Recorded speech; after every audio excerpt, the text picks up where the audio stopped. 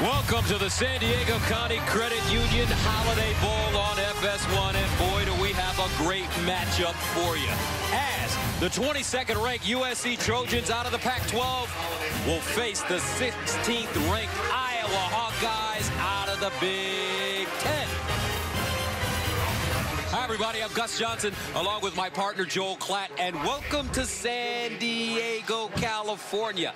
Iowa, only three losses this year to tough teams. Michigan, Wisconsin, Penn State by a combined 14 points. They're tough physical team. Yep. They're going to run the football. Yes. They're going to get after the quarterback, and one of the guys is going to do that is A.J. Epenesa. Ooh, I can't wait to watch him play. You know, I think A.J. Epenesa is one of the premier pass rushers we have in college football. We get a chance to see him work tonight. Now, he did get a bit of a slow start this year, but in the last month of the season, he was an absolute monster. Five and a half sacks, disrupting the passing game, and getting after it in the run game. He's got to have a big game tonight. The reason is, is that high-powered pass-first offense of the USC Trojans, he needs to be in the face of Kedon Slovis all night long.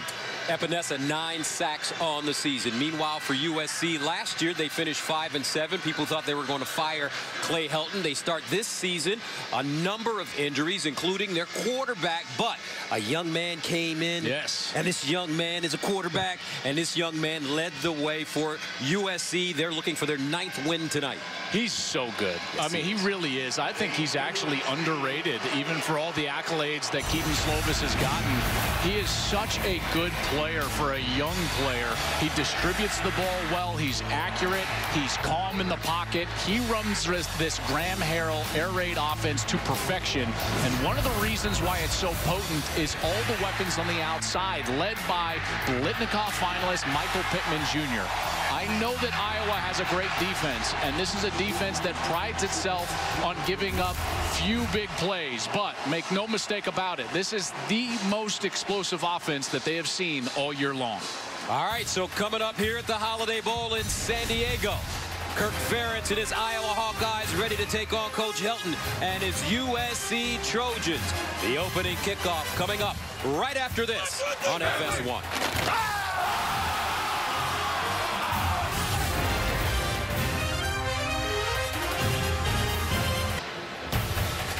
Welcome back to San Diego. We're ready for the Holiday Bowl, USC and Iowa. Time now to join the third member of our team on the sideline. As always, the All-American girl, Jenny Taft. Well, Gus, the Iowa helmet is going to look a bit different tonight, and that is to honor the late Hayden Fry and Bump Elliott, two men who recently passed away and both so responsible for the success and culture of Iowa football. Now, Bump Elliott was the Iowa athletic director for 21 years. He famously hired Hayden Fry, among other assistants, who've gone on to have very successful coaching careers. And Elliott famously told Fry, you better win or we are both out of here. The decision to hire him, well, it certainly paid off. Fry revived the football program, leading the team to three Big Ten championships, three Rose Bowls during his 20-year career. And back to the helmet, Gus. Now, the decision to remove the Tiger Hawk logo, it does have some history. It has been removed twice before. That is following two tragedies in the 90s. And when we spoke with Coach Ferentz about the decision, he said the Fry family was really on board, and they have been overwhelmed by the outpouring of support from the community. And Coach Ferentz also told us the team will wear special patches next year to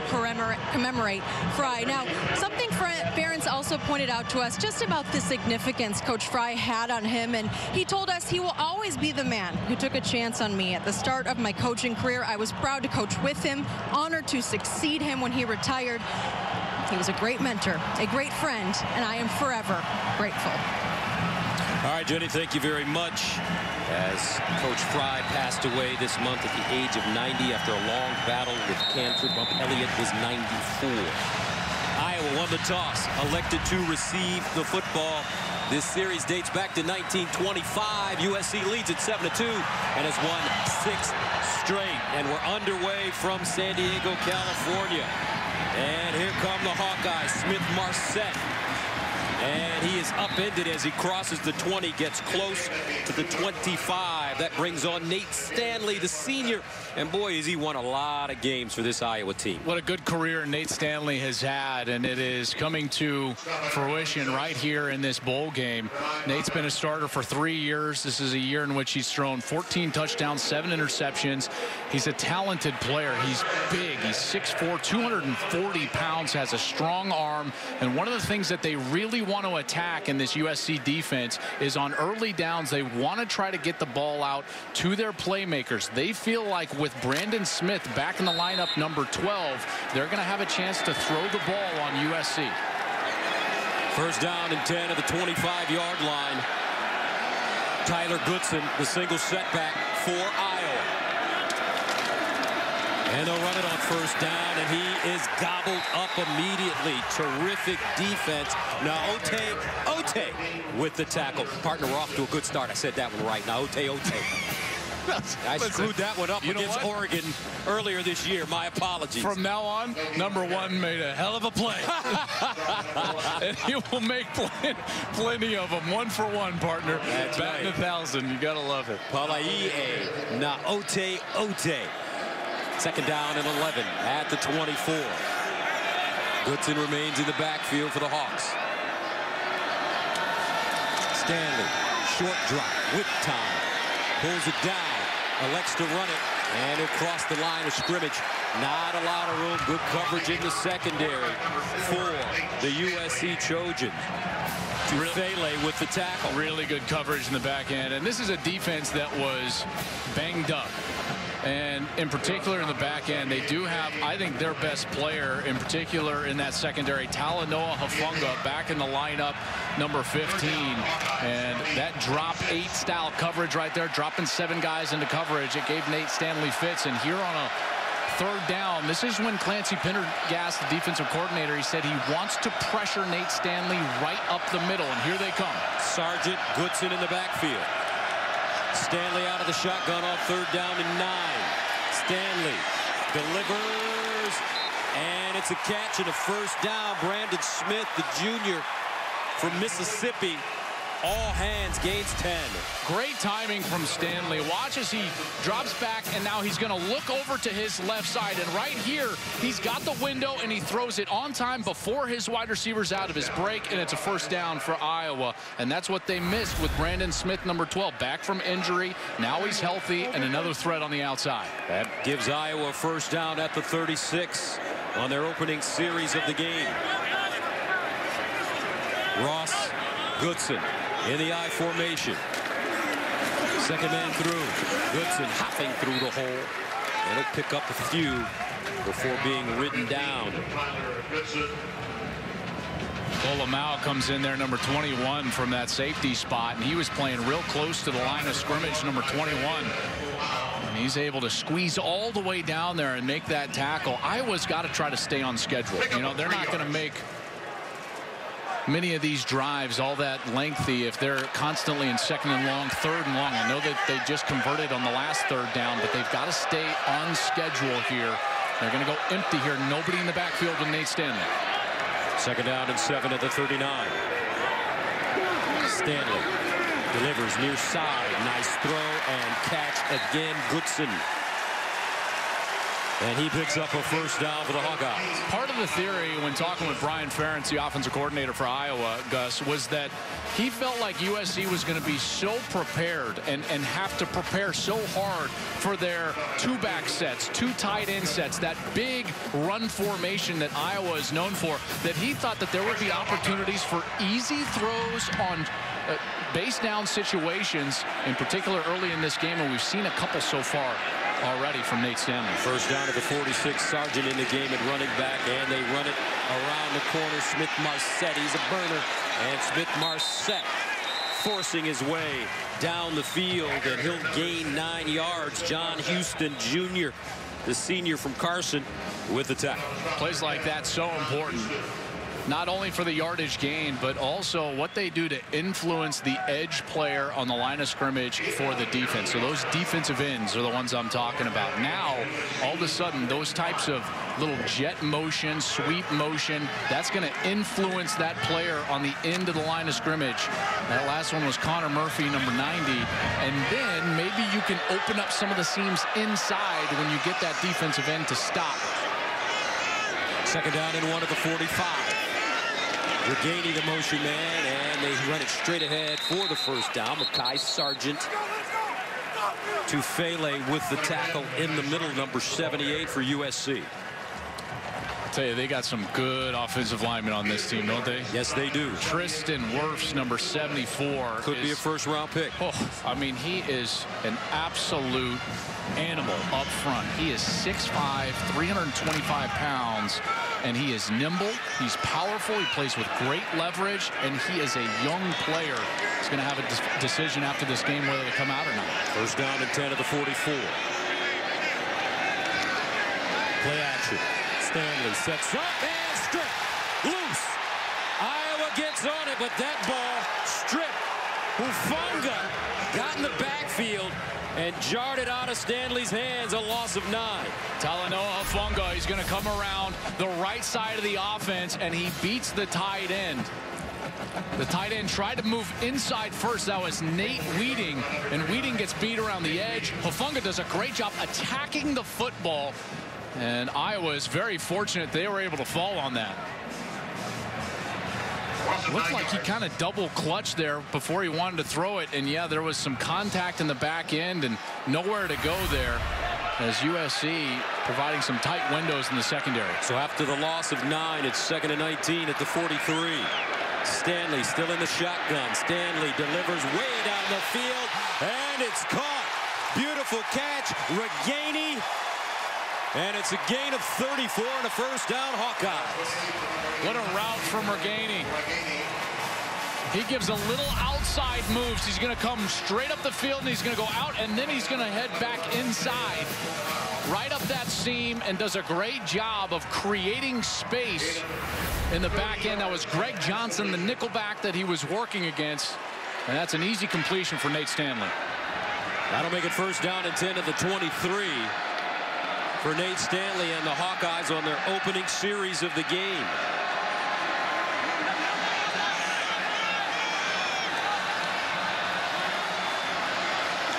Stanley handing it off to Sargent. No, they reverse it. And here they come. Tyrone Tracy Jr.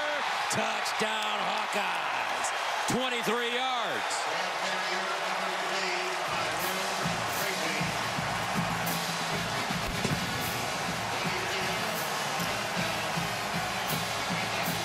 USC was totally committed to that run play. Watch on this side. You're going to get right here. You're going to get the defensive end. That's Rector. You got Hufanga. You got the safety. You got all of them committed.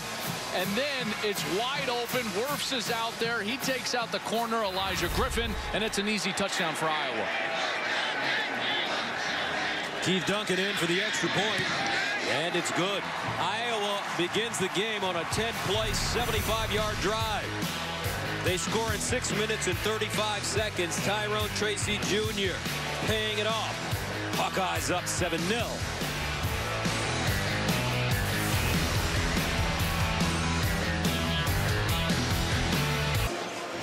Time now for more than a house sponsored by Rocket Mortgage by Quicken Loans. San Diego County Credit Union Stadium open in 67, a capacity of 70,561. Former home of the San Diego Chargers and Padres, hosted three Super Bowls and two World Series.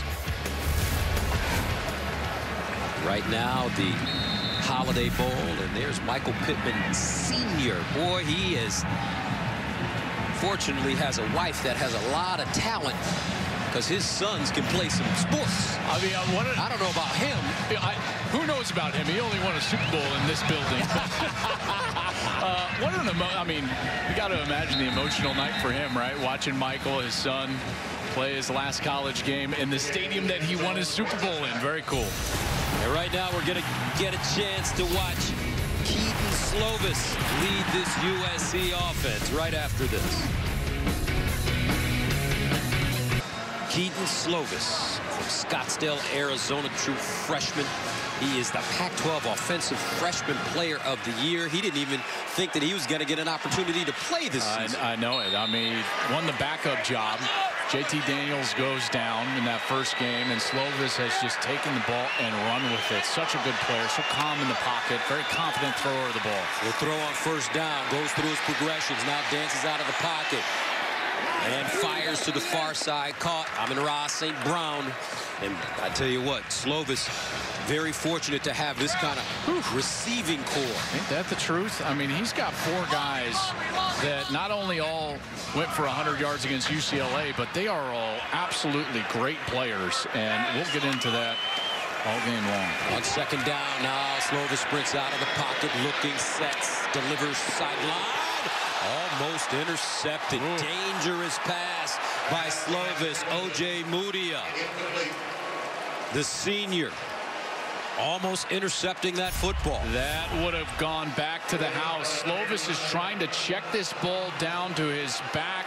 Malepeai. Malepeai was trying to turn back inside, and USC narrowly avoids disaster and they're forced with a third down here early, and they've got to be very careful because this zone defense, they don't see defense like this all season long, and Slovis has got to be patient and get through those reads decisively. Third down and five.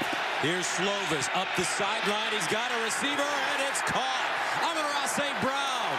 A beautiful touch pass by Kedon Slovis and a first down for the Trojans, gain of 30. What a beautiful ball right here, and he throws it right up that sideline. He's working the slot fade. It's an inside fade, and the reason that this is such a prominent ball in this offense is that he's got room on the outside in order to complete that over his outside shoulder because he's lined up on the inside, and he throws a beautiful ball there for a first down. First down at the 40-yard line. This time they run it. Malepeai with room jitterbugging and he'll lean forward, get six and a half, maybe seven on the play. Geno Stone, the safety with the tackle. And talking with Kedon yesterday, Gus, he was raving about the fact that his running backs are back because he knows that they're going to have to be balanced against this defense. This defense is so execution based. They know exactly where they're going to be lined up. They maintain their levels of defense, and it's tough to beat. Second down and two. Slovis Going for it all in the end zone for Pittman. Incomplete and a flag on the play. Michael Pittman Jr. guarded by Ojemudia. I feel like Pittman's towel was on defense, the ground. Number 11. 10-yard penalty. First down. And that's kind of when the flag came out. Here's Pittman, and he's working against Michael Ojemudia who's the best corner for Iowa. And right there, that arm comes across.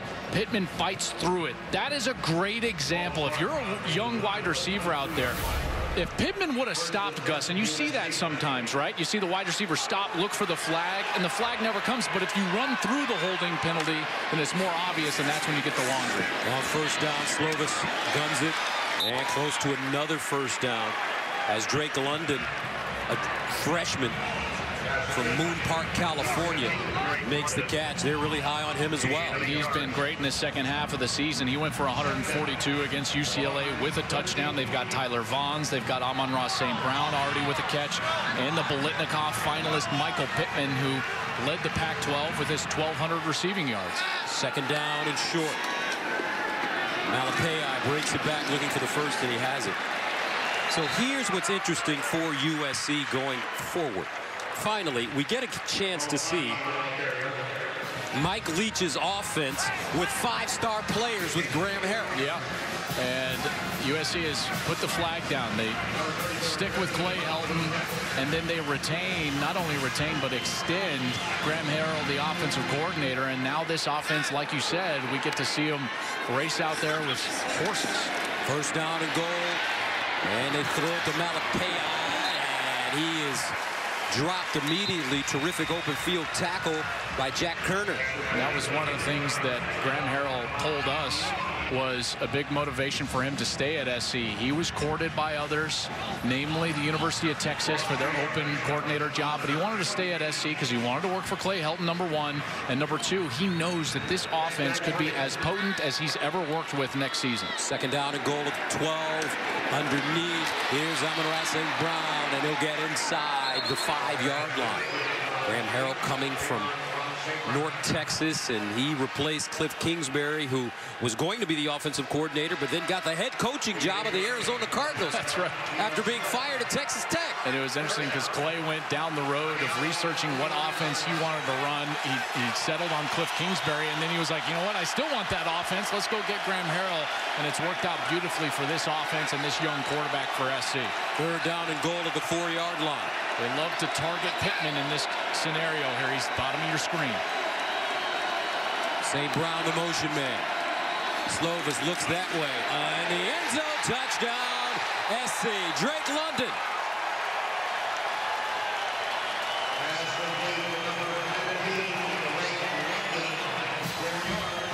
Overload that right side of the defense.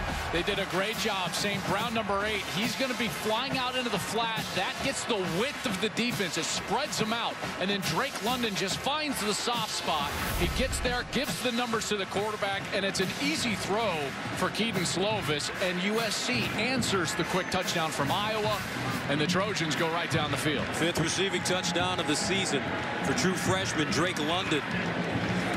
As SC goes on a nine-play, 75-yard drive, scoring in 348. Slovis to London. Seven up. SC, Iowa in San Diego.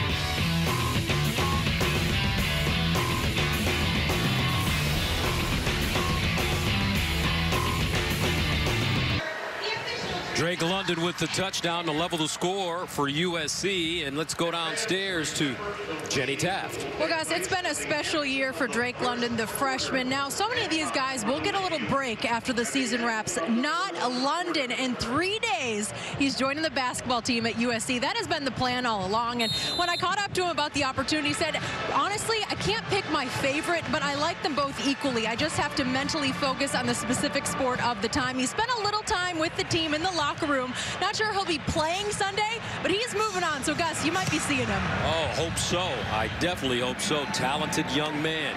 This ball fielded by Smith Marsette. And he gets through the hole before finally being chopped down as he crosses the 25 up to around the 27. Pola-Mao with the tackle. Gus, as you can imagine, it's not just a token invite like, hey, he can play basketball. Drake is a phenomenal player. In, in, high school, he averaged 29 and a half points per game and over 11 boards per game. He's 6'5", he's 205 pounds. So that Trojan basketball team is going to get a player when he joins them in a couple of days. First down and 10 for Iowa. Both teams scoring on their opening drives. Both quarterbacks very good on their opening drives. Empty backfield for Nate Stanley. Here's Stanley to throw it with time underneath, and he has his receiver Goodson. And Goodson will pick up eight and a half, maybe nine yards on the play.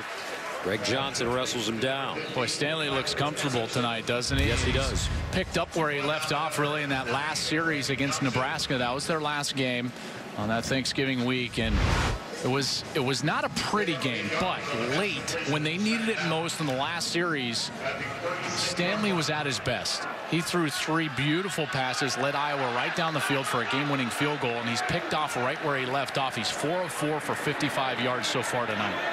Second and two at the 36. And they'll give it to Goodson. Looking for the first down, forward lean, and he has it. Tyler Goodson, Georgia native freshman. A couple of real good freshmen there going against each other. That was Drake Jackson on the tackle. But Tyler Goodson, Gus, for a program that prides itself on the running game. They've had a true freshman here in the back half of the season emerge as their feature back. They trust him. He's explosive, and he's coming off his first 100-yard game of his career in that game against Nebraska. First down and 10 at the 38. High formation. Ross and Goodson for the Hawkeyes. Goodson again, bursting through the hole with room. You know, they say styles make fights, partner. So Iowa out of the Big Ten, tough, big, physical. USC out of the Pac-12, multiple dynamic receivers with a star quarterback in the making interesting matchup for both these teams. I love it. And and both coaching staff said there would be a real feeling out process early in this game because both defenses have just not seen what the opposing offenses are trying to do. They haven't seen it all year long, and we've seen offensive success so far on both opening series. Second down and five, and it's Goodson. Goodson will get close to the first down. Not enough.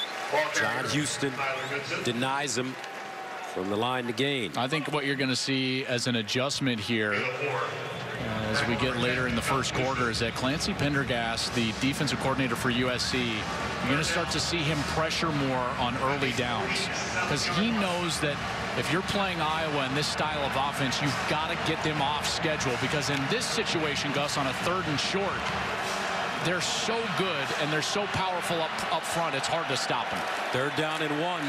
Goodson, and don't know. He looks like it may be close. USC says it's their football, or they're not yielding that first down to Iowa. A good push by the defensive line. Jay Tufele, number 78, doing a nice job. So tough to see where that ball actually was down. They're going to spot him short here. I expect Iowa to at least keep their offense on the field, try to draw them offside or try to run a play. They love the quarterback sneak. Remember, Stanley's 240 pounds. Fourth down and one. From their own 47, there's a quarterback sneak, and it's a first down.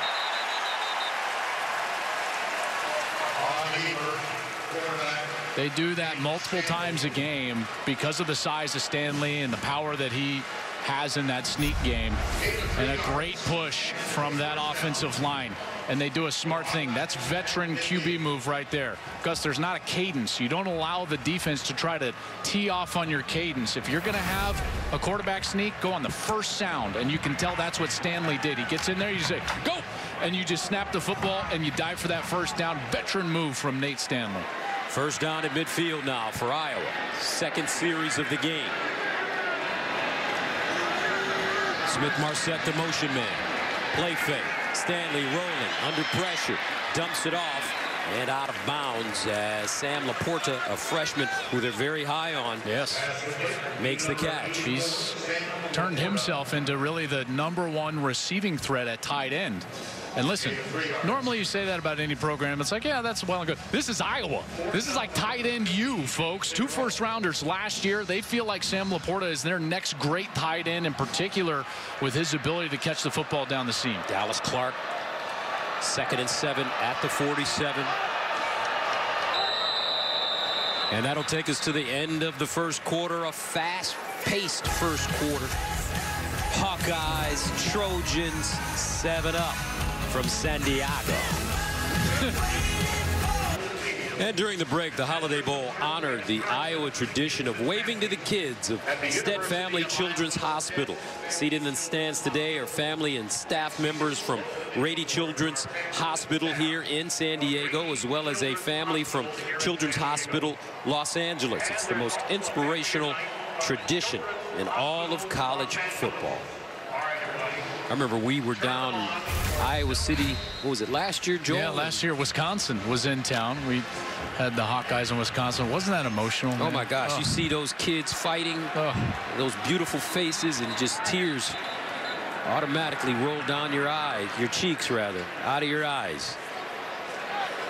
I agree with you. I think it, it's it's one of the best newer traditions we have in our sport. It's just phenomenal. Second down and seven at the 47 for Iowa. Goodson the single setback. They'll give it to him.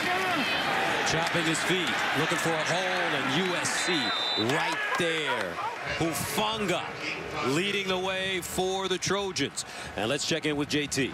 Well, guys, just to add a bit more on the wave and the tradition, you just said it, it is one of the most special traditions in college football. And I caught up with Mark Neville today from the Holiday Bowl and why they wanted to bring it here. And he told me he'd visited Iowa. He was so blown away by seeing it live. He said, we got to bring it. You mentioned the patients who are here. Gus, I'm sitting with a young girl. It's her first football game. And this crowd, these patients, so happy to be here. And thank you very much, Jenny. Third down and nine at the 49. Sargent still on his feet, picks up a first down. He's got a blocker in front and goes out of bounds at the 25. Drake Jackson escorts him out of bounds after a 19-yard gain. Well, Hufanga has had such a good early start to this game, but here he misses a tackle. Watch 15 USC. He fills the hole perfectly. He's got a shot right here at Sargent, and Sargent's able to step out of that leg tackle. And he gets up the sideline for more yardage, and now Iowa is in business here at the 30-yard line. First down and 10 at the 30. Sargent, the deep man. Play fake. Here's the reverse. Smith Marsette wants to throw it. Incomplete. He had his man. Brandon Smith was open, wide open, and Ihmir Smith Marsette just couldn't put it on him. Oh, it was wide open, and here's Brandon Smith, number 12. He runs a great route. Watch how as he kind of stops right there, and then he gets himself some space, and it looked like that was just out of his reach. He crashes into the wall there. Oh, my goodness. Looks like he got a fingertip or two on it. Let's hope that lady that he kind of crashed into there was okay as well. Looks like she kind of got a glancing blow down there as he crashed into the wall after the incompletion. Second down and 10 now for the Hawkeyes. Stanley, quick throw this time in the flats, and he's got his receiver, Sam LaPorta. And LaPorta spinning. And we had a chance to talk to Coach Ferentz, the offensive coordinator, yesterday, and he said one reason Sam gets an opportunity to get out there is because of his great size, being such a young player. 6'4", 245 pounds. They say he could probably stand to gain even five or 10 more pounds in order to become a better blocker. Remember, TJ Hockenson, one of the things that made him such a great player, guys like George Kittle, is that they were great blockers at the point of attack. You can clearly see LaPorta as a great receiver. Now he needs to develop as a blocker as well as he gets older and develops in the strength and conditioning program for Iowa. First down at the 16. Stanley guns it underneath, incomplete. Boy, he put some hot sauce on that one. Ragaini could have lost a finger. I remember calling games with Steve Tasker, and he said when Jim Kelly would throw to him, it was like the ball was going through a cheese grater. It was like a cheese grater would hurt your fingers so oh, bad. Oh, my goodness. I can't even imagine. You think of guys like John Elway, the strong Oof. arm back in the day. And Nate Stanley, not quite that strong, but he's certainly put some mustard on that one to Ragaini. 13th play of the drive. It started at the 28, second and 10 at the 16. Goodson. And Iowa, when we saw you talk to the coaches yesterday at SC, it was very interesting because all you and the coaches were in accordance. Iowa, you know where they're going to be, and they're not going to try to fool you. You know what they're going to do. Yeah, and uh, both offensively and defensively, and Clay Helton knew it. And one of the things Clay Helton was most nervous about in facing Kirk Ferentz's team was the fact that they limit the number of possessions that your offense gets. USC has one of the most explosive offenses in the country. They've been out here for one series because USC's defense has not been able to get off the field on downs like this, third down. Third and six at the 12. Stanley looking underneath and looks like a first down. Nice catch and extension by Brandon Smith. Boy, they are a different, different passing attack with Brandon Smith. It looked awfully close there. He's trying to run a little hitch route right at the chains. Does a nice job creating a little bit of space, but then right here he gets driven back, and as he reaches out, it's really tough to see but they are going to give it to him. It's going to be first and goal, Hawkeyes. He needed to get the ball all the way back, and they could have ruled some progress there right at the spot of the catch. And it looks like that's what they ruled, giving Iowa this first down. First down and goal at the six-yard line. For Iowa, Smith-Marsette crosses. They give it to him on the reverse. Smith-Marsette touchdown.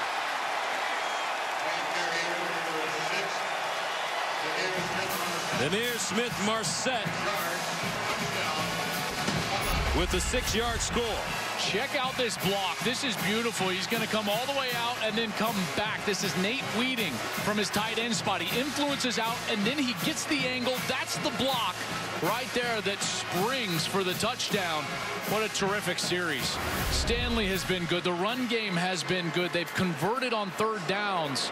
That offensive line is starting to open up some holes and credit Brian Ferentz with some creative play calling, getting the ball on the edge with those jet sweeps and reverses.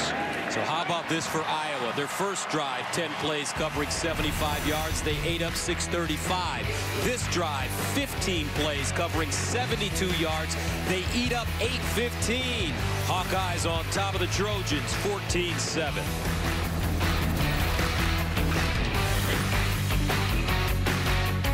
NFL. This Iowa team looks like an NFL team the way they're stylistically. Yeah, you're right. They've eaten up already 14 minutes and 50 seconds time of possession. That's Big Ten style football. You know, toughness, offensive line play, and sometimes it's hard for teams that are not in that conference to adjust early in games. Velus Jones on the return. So coming up, Kedon Slovis and the Trojans on offense down by seven here in San Diego at the Holiday Bowl.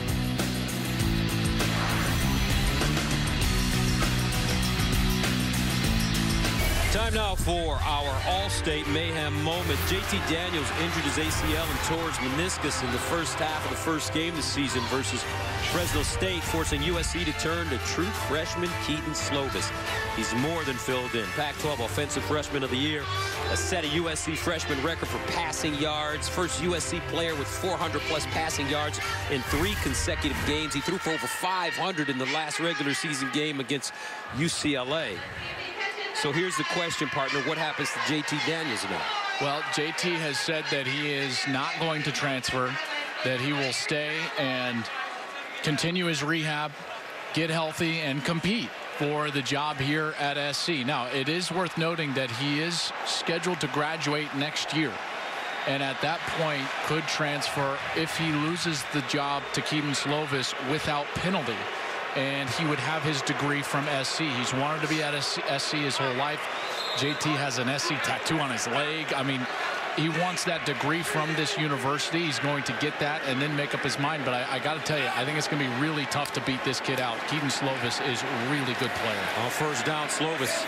And he delivers Amon-Ra St. Brown. Now, this offense, this air raid offense is very interesting, and it took some time for players to buy in, especially the receivers. Yes, why? Which is so interesting, right? You would think, like, no, why would they would love it? But it's it's such a simple offense. They don't adjust a lot of routes, and a lot of times the receivers think to themselves like, well, wait, I want to be featured. I want to be a primary. I want a matchup where you're trying to get me the ball, and the answer is always let the offense get the ball to you first. Let the offense work. Your production, Gus, will come, but what they have to do is they have to trust that the ball will find them eventually. Okay, so we're not going to put you in a matchup where you know we're throwing you the football. No, no, no. We're just going to allow the offense to work for itself, and the ball will find you eventually. And as the season went on, and you saw the numbers, and you saw them accumulate for all the wide receivers, all the coaching staff said the same thing, that these receivers bought in 100%. It's one of the reasons why they were throwing the ball so well late in the year. Well, first down, Slovis checks it down. Malepeai and Malepeai takes a big hit before being knocked out of bounds. Now, there was a word that was used yesterday in the meetings, uh, and correct me if I'm wrong. Pittman, he said, was it conversions or converted? Yes, convert con conversions on routes. So in normal offenses that are not the air raid, there are a lot of routes that are called, right, part of a concept that will convert based on coverage. And it'll change to a different route. There's not a lot of those in the air raid. They have the routes that stay on, and the theory is, is we're not going to convert a route. We're going to run the route that we told you to run, and you're going to occupy defense, and the ball will go elsewhere. And this is an incomplete pass to Michael Pittman. And this air raid offense run now here at USC by Coach Harrell, who came from North Texas, is a Texas Tech All-American. Mike Leach was his mentor. Mike Leach, one of the founders of this great air raid defense. He got it from Hal Mumme, or they created it together. Yeah, all the way back in Valdosta, and now Clay Helton is using it here. They'll go empty. Big third down here. Got to protect the passer. Empty backfield for Slovis. And Slovis looking underneath. Caught Amon-Ra St. Brown. First down. 15-yard gain. Koerner with the tackle. He's so good in the slot, Gus. Watch as Brown. He just finds space. He understands that he's got a drop linebacker, and so he just stops. He gets back inside of him and creates space for his quarterback. Amon-Ra St. Brown is such a terrific slot receiver because he understands the defense, the structure, and what he's trying to do against it. Slovis in trouble, and he'll eat it. A lot of pressure, A.J. Epenesa, and that is sack number 10 on the season. Well, we told you before the game that this guy's an absolute monster, and here he is. He's going to be working against Austin Jackson. That's a great matchup, and Jackson gets way too wide. It looked like he thought he was going to get help from Alijah Vera-Tucker, the left guard, and that help never came. Austin Jackson sets way wide, and the great pass rusher Epenesa goes inside and gets to the quarterback. Epenesa becomes the second player under Kirk Ferentz to record 10 or more sacks in consecutive seasons, joining Matt Roth from 2002 to 2003. Second and 19 at the 44. Slovis over the middle, and it's caught.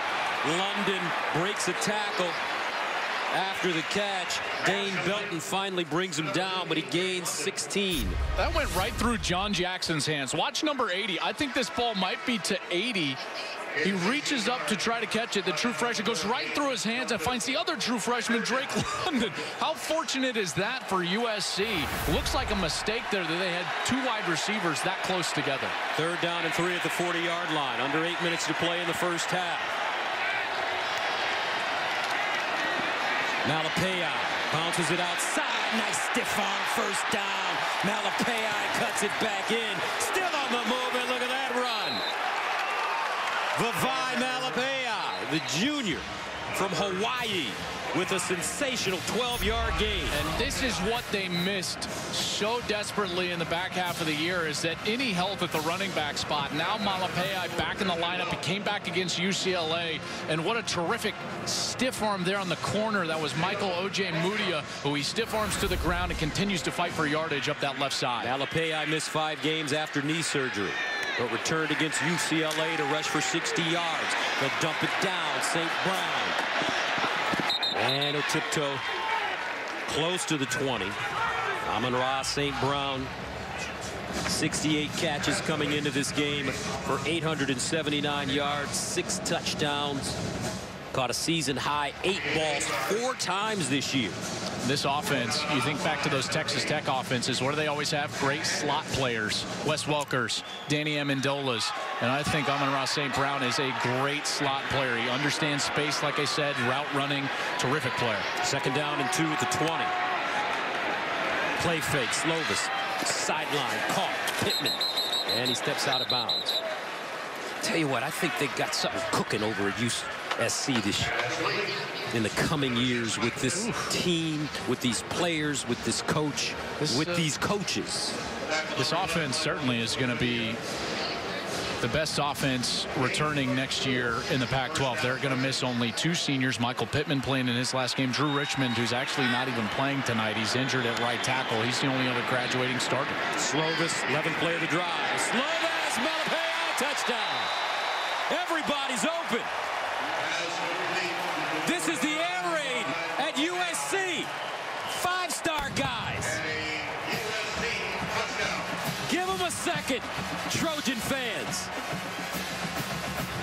This is called trust in the offense right here. The ball will find you in particular if you get the matchup. He gets it. Malepeai runs a great route, a little skinny kind of swing route from the backfield and the short side.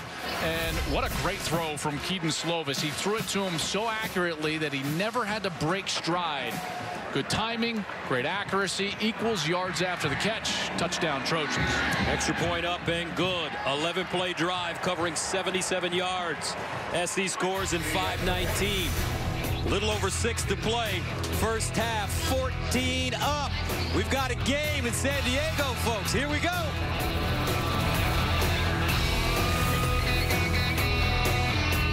Fansville, we're in beautiful San Diego, California, folks. It was warm today, sunny as usual.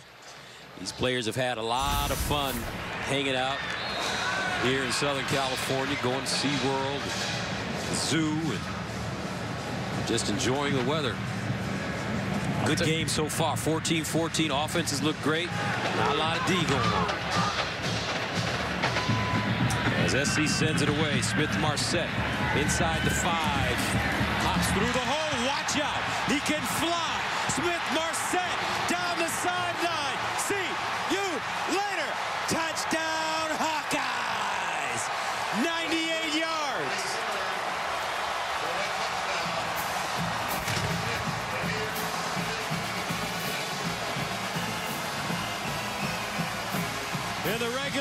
season finale against Nebraska, he had a 95-yard kickoff return for a touchdown. Well, it's going to be Jaden Williams, number 14, that has really the only shot at Smith-Marsette. Watch 14 right here. There's the shot. He misses the tackle. Great little hurdle. And then you see the speed. Ihmir Smith-Marsette burning down the left side. Takes it to the house. How about that for electricity? The slow team, right? They, have been 10-minute drives, and then boom. Explosion. Ihmir Smith-Marsette from Newark, New Jersey. Big-time player. He's a junior. And Iowa takes the lead here, 21 to 14. Just one Sunday left in the NFL regular season. Download the Fox Sports Super 6 app and play Super 6 NFL Sunday for free for a chance to win up to $250,000 of Terry Bradshaw's money. One young man that may be making money on Sunday is Ihmir Smith-Marsette. He's the first Hawkeye with a rushing touchdown, a receiving touchdown, and a kickoff return touchdown in the same season for Iowa since Jermelle Lewis did it in 2002. And he gets another kickoff return for a touchdown in this game, the Holiday Bowl. 5.48 to play, 21-14. SC's turn. It's like a,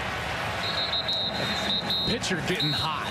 Back-to-back -back games with kickoff return for a touchdown. Here was that reverse early for Iowa. They went right down the field, scored. USC answered the pass to the freshman, Drake London. Then it was Ihmir Smith-Marsette on the little jet sweep. He shows his wheels on the outside. USC answers to Malepeai. And then here in the second straight game, Ihmir Smith-Marsette goes the distance for a kickoff return. 95 against Nebraska, 98 here Gus, that guy's got some wheels. I mean, right when he broke that tackle, you could obviously see it from up here. And then the Jets, he turned them on and he was gone. First down to the 25 for SC. Carr bottled up and dropped for a loss. Well defended by the Hawkeyes. Welch as well as John Waggoner combining on the tackle. On this type of game, this ebb and flow, it puts pressure on the offenses, in particular the quarterbacks. You feel like you need to be perfect because no one's getting a stop. No one's tackling very well. The rust clearly showing in the tackling department. And these quarterbacks are going to have to score a lot of points. Second down and 11. Slovis throws it out. Carr will be lucky to cross the line of scrimmage. A swarming Iowa defense led by Dane Belton, the freshman from Tampa. Well, here you go. You get the energy, and now Epenesa is going to come back on the field. You're probably going to get some sort of pressure or a stunt in the front four to try to get Epenesa free to provide some pressure here on the third and long. He's going to be at the top of your screen. Now he's moving down. Here's 94 walking around. There he is right there. Watch Michael Pittman, receiver at the top of your screen. He's been their go-to guy all year. Slovis in trouble, and he's sacked or hit as he throws loose ball. Iowa says they have it. And they do. Nick Niemann knocked it out of his his hands. Recovered by Christian Welch. on the field with a fumble recovered by the defense. First down, Iowa. They rule that it's a fumble. Niemann comes on the pressure. Nick Niemann comes on the blitz. Here's Niemann on the kind of the middle, and he's coming straight up the middle. And he gets there. Good design, bust in protection. Niemann goes right after the ball, and that's going to be awfully close. Further review. You could make an argument based on that call that that hand could have been moving forward, but no, I think that's going to be somewhat of an empty hand because it was at that back moment where that hit occurred and it started to come loose. Obviously, we're going to have Dean Blandino weigh in on this, but based on the fact the call on the field is a fumble recovered by Iowa, that's going to be very difficult, Gus, to try to overturn. And let's go to Dean. Dean Blandino joins us from our Los Angeles studios, our rules analyst. Dean, what do you see? Yeah, Joel, I thought Joel did a great job describing it. Is the hand coming forward with control in an intentional motion? It almost looks like the defender hits the arm and the arm comes forward because of that contact. To me, it was ruled a fumble. I don't see obvious evidence of intentional forward movement of that hand to make it a pass. It is close, but I think, again, the ruling on the field, it has to be obvious to change that. There's where the contact occurs, and I think that the fact that that call on the field is a fumble, there's just nothing to overturn it because you can clearly see that he's losing control. This is a great angle right here. It's kind of behind his helmet, but it's clearly coming out of his hand. He's winding up, trying to get the ball down the field, and it's clearly coming out of his hand. I don't and think Joel, can you just intent. give the give the fans an official definition of this rule? Well, I mean, Dean said it perfectly. He's got to have control of the football with an intentional direction, trying to pass that football in a forward motion in order for it to be incomplete. If there's any control lost before that intentional forward movement with control, Dean, I, I th- believe I'm explaining that correctly, and he's still with us. If there's any loss of control before the intentional forward movement uh, with intent to pass, then it would be deemed a fumble. Dean? Yeah, e- exactly. It's it's intentional movement of the hand forward with control. And looking at this, it looks like the side judge is writing. That tells me that they're going to change this, and and I don't agree with that. That that this is too close to change. And I think based on a couple of the angles, it looks like the ball's out before the hand comes forward. That's where the contact occurs. You can see is right when the ball reaches its furthest point back. This is where the contact occurs right there. And I totally agree with you. And Dean, this is not the intent of replay. The intent of replay is not to re-officiate the play. They need to go in and just evaluate the call on the field. I don't think there's enough to overturn, but it looks like they're going to. After further review, the quarterback possessed the ball in his hand and it was going forward. Therefore, it's an incomplete pass. It would be fourth down and 10 from the 25-yard line. Please reset the game clock to 4 minutes, 33 seconds. So 4:33 USC on the game catches a major break. Yep, and it's a field position break here because it will be fourth down. USC is going to have to punt, so they achieve the goal of stopping the USC offense for the first time tonight. But they're going to have to, they're going to lose here. What is it going to be? About 35, maybe even 40 yards of field position based on that ruling. But I, I'm in lockstep with Dean there. I don't believe that that should have been overturned. There wasn't indisputable video evidence to overturn that in my view. But that's the way it goes. Let's snap the football and play football. So SC will punt Ben Griffiths, 6'5", redshirt freshman, 28 years old.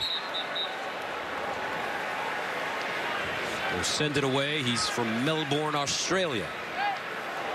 Please reset the game clock. Correction, the play clock to 25 seconds. It will start on my signal.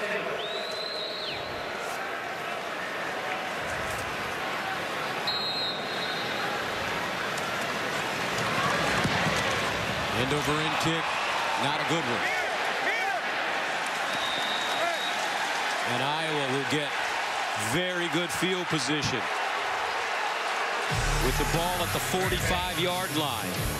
Hawkeyes up 21-14.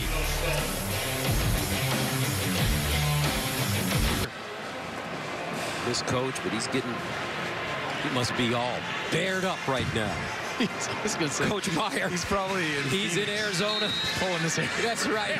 He's in a dark room. It's like we have to remind him he's not the head coach. He's not the head coach anymore. First down and 10 at the 48 for Iowa. Tracy Jr. in motion, play fake. Stanley. Here's the screen, LaPorta. And LaPorta taken down. Nice play by the Hawkeyes. Misdirection there. Yeah, and they've done that a lot, haven't they? Brian Ferentz has put together a really good game plan, and he has he's played off of what he assumes they're going to be preparing for. Watch this play fake from Stanley. Beautiful play fake. He puts it right there, kind of on his belt. Then he turns around a little tight end screen to LaPorta, and they've had the misdirection on the jet sweep. The reverse went for a touchdown. He's done a really good job of playing the aggressiveness against USC. This will go against Iowa. It's like a false start. False start, offense, number 39. Five-yard penalty, second down. It's Nate Wieting, tight end. They lost two good ones, didn't they? Noah Fant, TJ Hockenson, and Brian Ferentz had to rebuild this offense. It was such a tight end oriented offense, in particular in the passing game. Those two players had 88 receptions, 1,279 yards, 13 touchdowns. Both were first round draft picks in the NFL. And now it's LaPorta's turn to try to be that guy moving forward for the Hawkeyes. Second down and nine at the 49.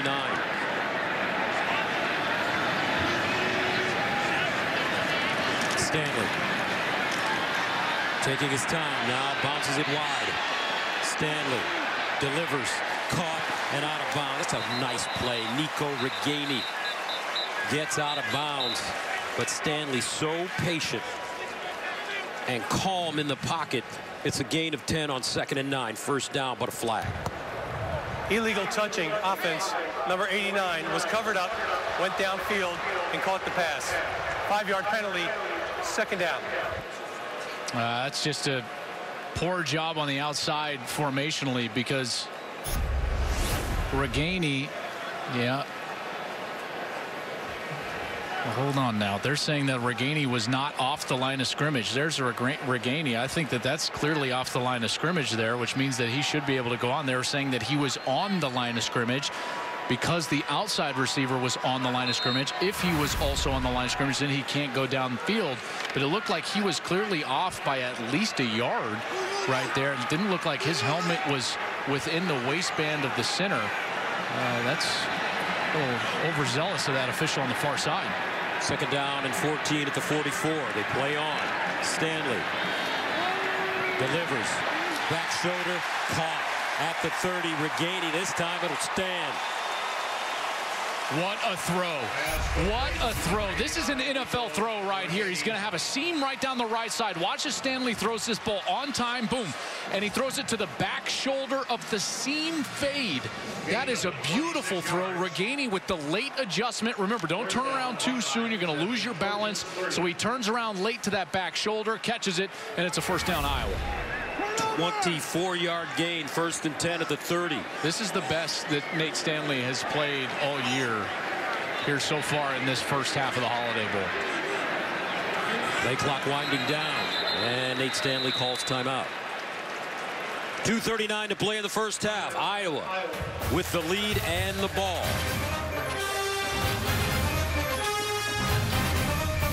Stanley. 21-14 Iowa on top of SC. Uh, you talked about Nate Stanley.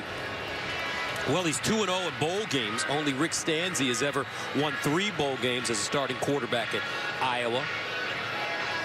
Nate playing some of his best football right now. Yeah. He's 9 of 10, 110 yards passing. And it's important for a guy like him. Listen, he's he's got an NFL future. Where he lands in the draft, I think, remains to be seen. If you were just evaluating him off of this game, you would say he's a first-round draft pick because he's been really good. 9 of 10, 110 yards, like you're saying, Gus. But it's been more than that. It's been the timing, the ball placement. Everything has been on point. And he's also out there an orchestrator. Not every quarterback at the college level is doing all the checks, doing all the shifts and the motions, making sure you're in the right play. He's handling all of that out there on the field, not having to get that check from his coach on the sideline. First down at the 32 for Iowa. Goodson trying to get outside and does crosses the line of scrimmage and tiptoes out of bounds close to the first down let's go downstairs to Jenny well we asked coach Ferentz to describe Stanley he said I need to think carefully about these words and he said he's smart he's hardworking and he is serious and guys he is serious about that bowl record about getting a third bowl win you mentioned it Gus and I asked him to reflect on his experience and he said you know there's been some good there's been some bad but I've always tried to put my team first and I really take pride in that but of course ending on a good note, it would mean a lot to Stanley after his last couple years. All right, thank you. Second and one at the 23.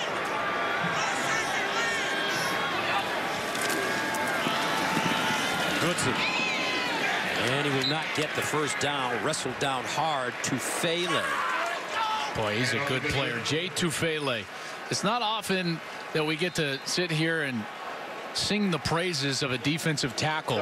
And even though they moved the chains there, Jay Tufele, Brian Ferentz, the offensive coordinator of Iowa, said Jay Tufele was the best defensive tackle they saw on film in preparation all season long. He was first team All Pac-12. Had 39 tackles, four and a half sacks, six and a half tackles for loss from that tackle spot. And just a sophomore from Salt Lake. He's got a bright future in this game. First down to the 22. Empty backfield for Nate Stanley. Stanley guns it, and it's caught. Smith again. We've been calling his name a lot in this first half. And Brandon Smith gains nine on the play. And again, that ball out on time, on target. Stanley playing with great rhythm and confidence, and sometimes that confidence comes when your best players are back on the field. That's clearly the case with number 12, Brandon Smith, back from injury for Iowa. They give him 10. First down at the 12 for Iowa. 124 to go.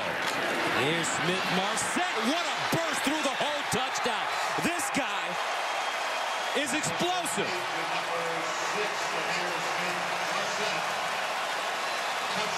The third touchdown of the game for Smith Marsette. And what a first step.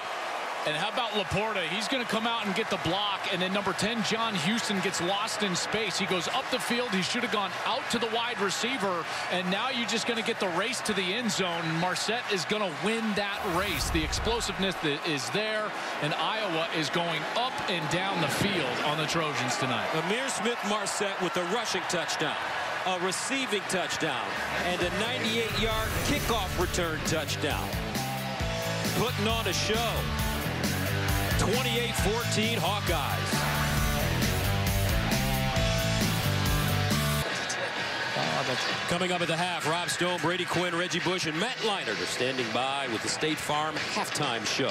And they'll have a lot to talk about, especially this young man, Ihmir Smith Marsette, with his third touchdown of the first half. And USC has no answer for him. And USC is supposed to be the more athletic team, but they are not tackling well. They're not taking great angles. Ihmir Smith Marsette's speed has totally taken over this game. Handing the ball to him in the return game, and there on a little wide receiver screen on the outside. So SC will get it again with 118 remaining in the first half. And this one in the end zone for touchback. Sunday, it's a top 25 showdown as West Virginia takes on number two Ohio State. Then UMass Lowell battles number 11 Michigan. Catch all the action starting at noon Eastern, 9 Pacific on FS1 and the Fox Sports app. College basketball season getting ready to heat up on Fox. What's the line you think on UMass Lowell versus Michigan? a lot.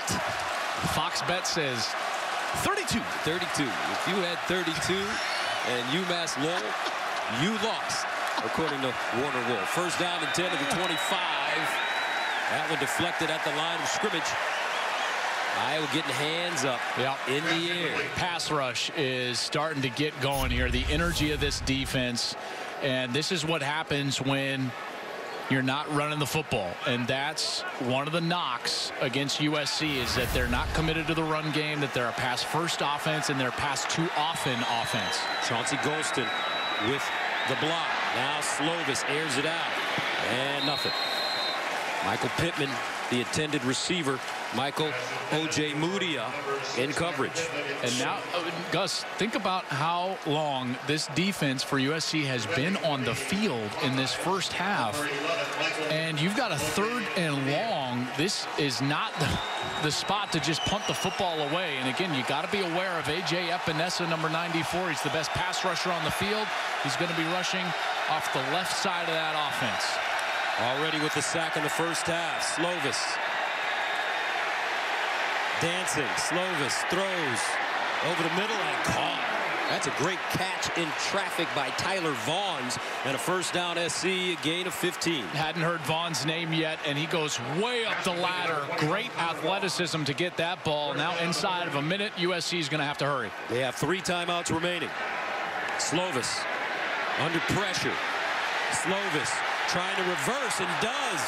Slovis creating and incomplete. Pittman just couldn't hang on. That ball knocked out of his hands by Geno Stone. How did Slovis get out of that in the pocket?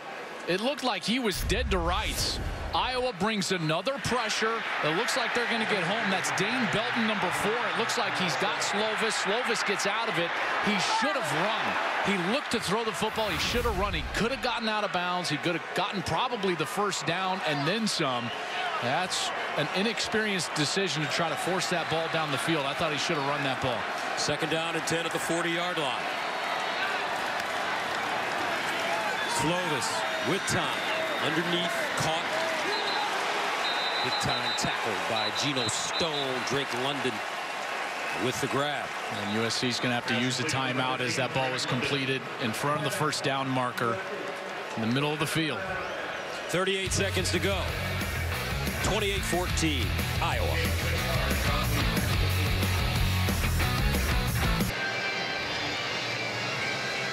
Thirty-eight seconds remaining in the first half. 28-14, Hawkeyes out of the Big Ten, leading the Trojans out of the Pac-12. Such an important 38 seconds here. USC is going to get the ball back to start the second half. So as well as Iowa has played, and they've been nearly perfect, in particular on the offensive side and the special team side, USC has a chance to kind of negate that and minimize the impact of that great half from the Hawkeyes if they can get points here and potentially score on their opening series of the third quarter. Third down four at the 46. Slovis needs the first down, and Ferentz took a timeout from the sideline. Before the snap, timeout was called. Iowa, their second timeout of the half. 30-second timeout.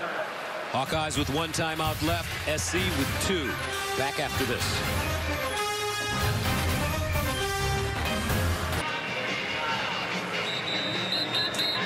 Final 38 seconds of the first half, and we'll see if SC can put points on the board to stay close with this Iowa team. As you mentioned, partner, the Trojans will have the ball to start the second half. And they're going to need to get to, I think, at least the 34, 33-yard line to get within Chase McGrath's range, the kicker.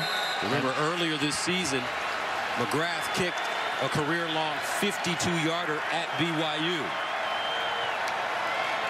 Slovis.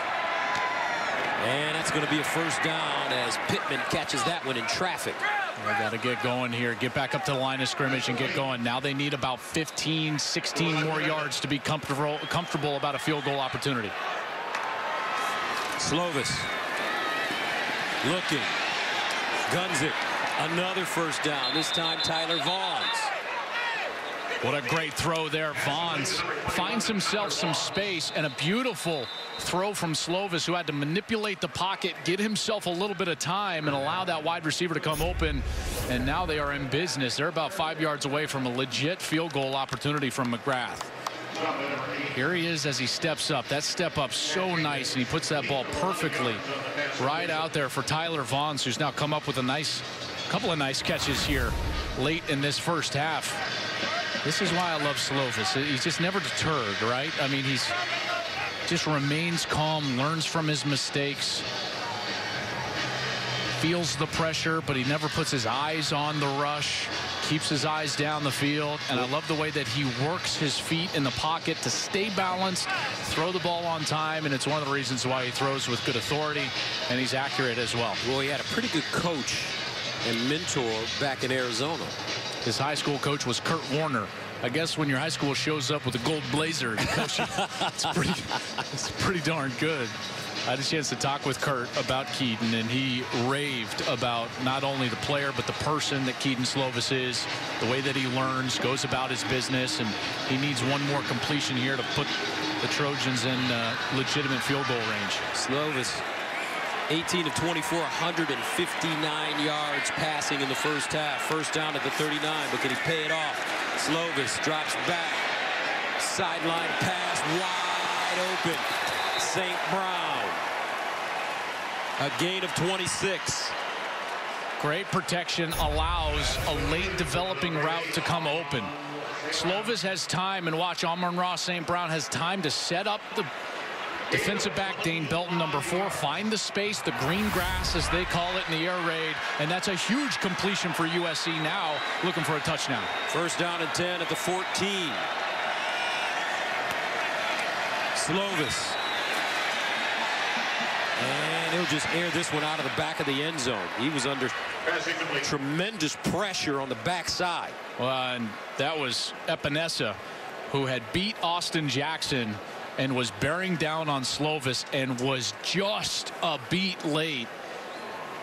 Slovis almost had to, sensing the rush, burn that ball and throw it out of the back of the end zone. What a great matchup out there. That left tackle, Austin Jackson, has an NFL future against potentially a first rounder in A.J. Epenesa. Watch for Pittman here, Gus. That's what they like.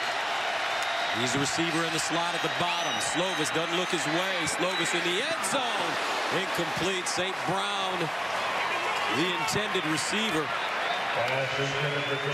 Koerner in the vicinity for Iowa.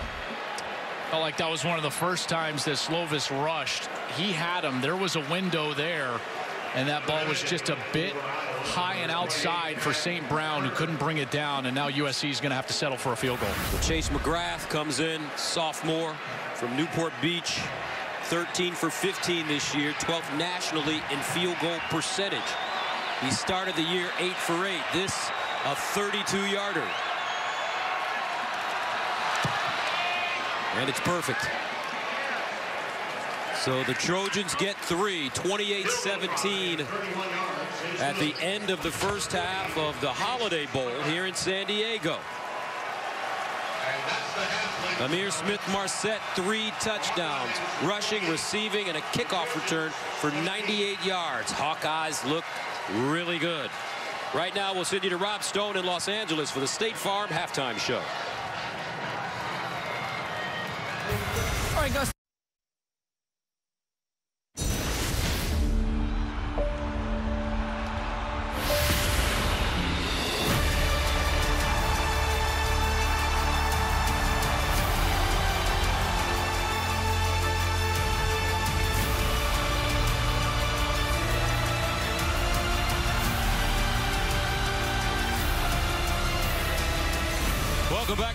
Diego in the Holiday Bowl. 28 to 17, Iowa leading USC as we head to the second half. Gus Johnson along with Joel Klatt partner. What an electric first yes. half. Nate Stanley played solid, but yep. Ihmir Smith-Marsette with three touchdowns, rushing, receiving, and a kickoff return for 98 yards. Who would have thought that you would say USC can't handle the speed of Iowa, and that's the case with Ihmir Smith-Marsette, but it really has been the tone setting of Nate Stanley and his decision-making that got Iowa out on the right foot. They have not been stopped, all right, and Nate Stanley has been throwing the ball on time and on target. He's done a great job, and then it was the electricity of Ihmir Smith-Marsette. Three total touchdowns, one on a return, one on a rush, one on a pass. He also almost threw for a touchdown in that first half, which would have been amazing. Slovis has played really well for USC. 19 of 27, 184 and two touchdowns.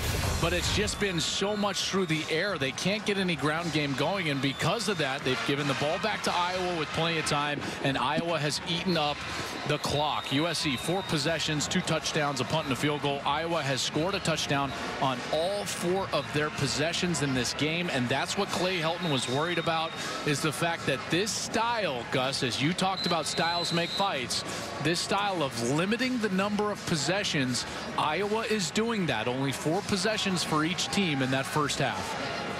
Kirk Ferentz has to be pleased with the way his team played in that first half, a complete first half, offense, defense, and special teams. You know USC is explosive, so they're going to score points, so to slow them down.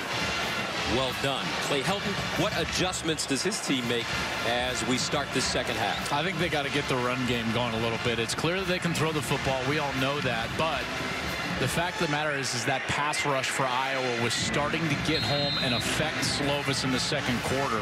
The USC play selection, 28 pass plays, only five rushes in that first half. They've got to do a better job establishing the run and slowing down that pass rush from the Hawkeyes. Shudak will send it away. Jones and Carr, the deep men for SC, and it's a touchback.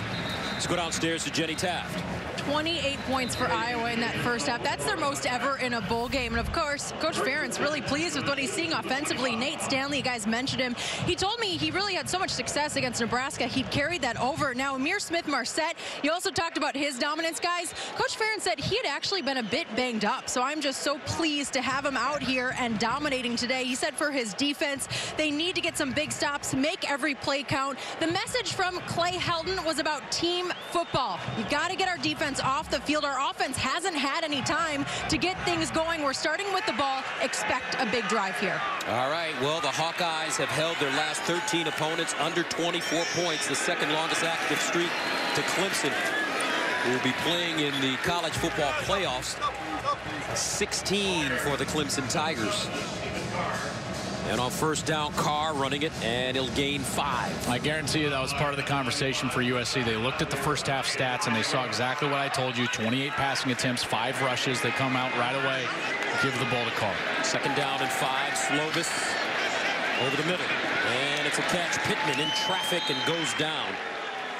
Michael Pittman with a 10-yard reception.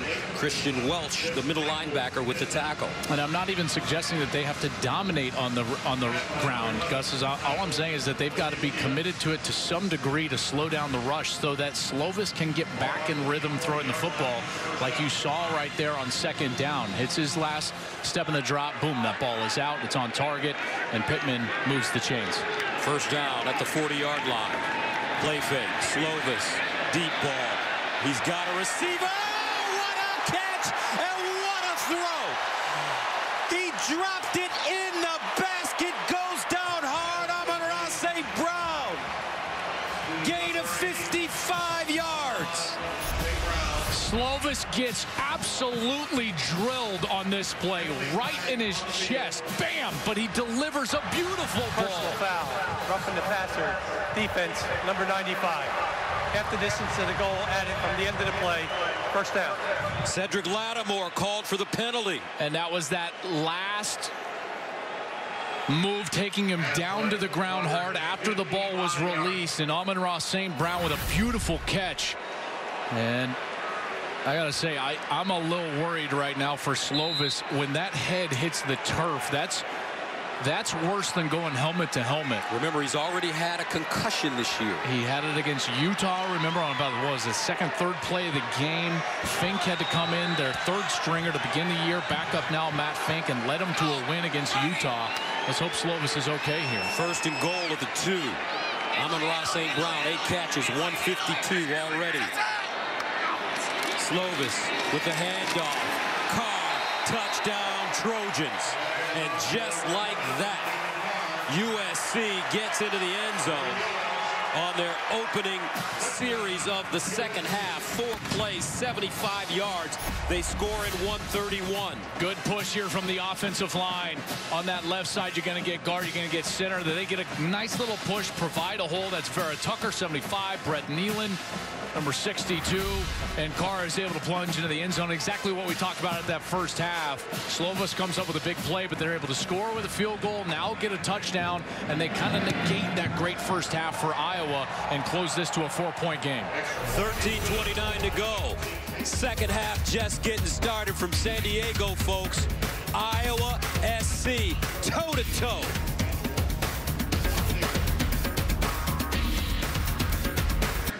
28-24, Kedon Slovis has been taken into the tent. Now you see him coming out. He's got his helmet in his hands. That's a good sign. That's a good sign because this was earlier in the year against Utah. His head hit the turf in extreme fashion. He missed the rest of that game with a concussion. Also missed the following game. Here's what just happened. He goes down. That head whips back to the ground. Folks, as a quarterback, that's much worse than taking a helmet-to-helmet -helmet hit. It's like two cars getting in a car accident. There's give, right? But when a car hits a tree or an embankment where it's concrete and there's no give in that other element, that's much worse. That's like your head hitting the ground for a quarterback in particular going backwards.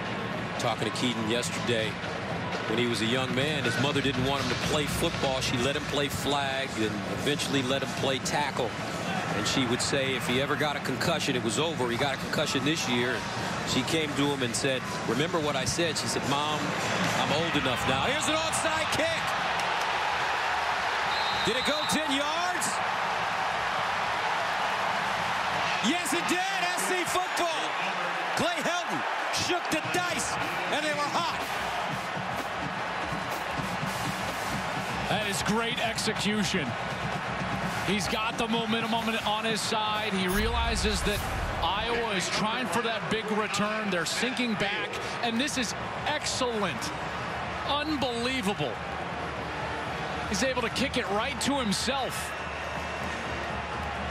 That's Michael Brown, number 49, comes in as the kickoff man, and he just squibs it right over that 10-yard barrier. Did a great job not touching that football, and nobody else touched an Iowa player. Remember, if someone else tried to block before that ball went 10 yards, that would have been negated. But everything goes 10 yards. He gets on that ball, and USC is back in business. How about that call from Clay Helton?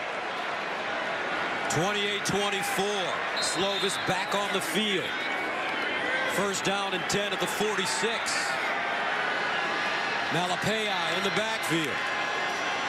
Slovis to throw on first down to the sideline. And it's caught. Tyler Vaughns first down. And to get back to the story about Kedon and his mom. His mom said, hey, if you ever get a concussion, football's over. He got a concussion this year. His mother went to him and said, remember what we said? Kedon said, Mom, I'm grown. That doesn't count anymore. And he also said, I'm getting a free education. That's right. You want to pay for it, Mom? Do you want to pay for my school? First down at 10. His 43. Said, good luck. Good luck, son. Here's Slovis. Hit. Loose. And SC has it. Wow. A.J. Epenesa stripped it. And Slovis is hurt again. And now it's that right arm because he was trying to come across. He's reaching down on that right arm, right hand. They're fortunate there that they were able to even get that ball. It looked like it was going to fall right into Chauncey Golston, 57's arms. Here's Epenesa. Watch as he's throwing it, and right there he kind of gets a hold of it. That is a dangerous move right there because that can rip all those muscles and tendons as you're trying to strain and put that torque on your arm. See how as it goes backwards right there. Terrible for your shoulder as a quarterback. And Epenesa strips the ball out, and USC is fortunate enough to get the recovery as that's Austin Jackson who was Johnny on the spot. But Slovis is down. That is not a good move. That backwards arm because he's trying to throw it forward. So he's got that strain under tension. So that brings on Matt Fink. Matt Fink, who beat Utah earlier in the season, came in when Slovis had that concussion we just showed you. Had a huge night for the season. He's thrown for just over 500 yards, four touchdowns, and four interceptions. And look at Clay Helton getting this guy going. Encouraging Matt Fink. And how about the crowd coming alive for Matt Fink, knowing what he did earlier in the year. The sideline coming alive with some energy as their star quarterback is going to be taken back to the tent, and that arm is going to be looked at. And that last play is an incomplete pass. The previous play is under further review. Epenesa, he already has a sack in the first half. Austin Jackson just can't keep up with him on that play as Slovis goes down. Slovis trying to walk it off. This is under review in terms of the actual ruling.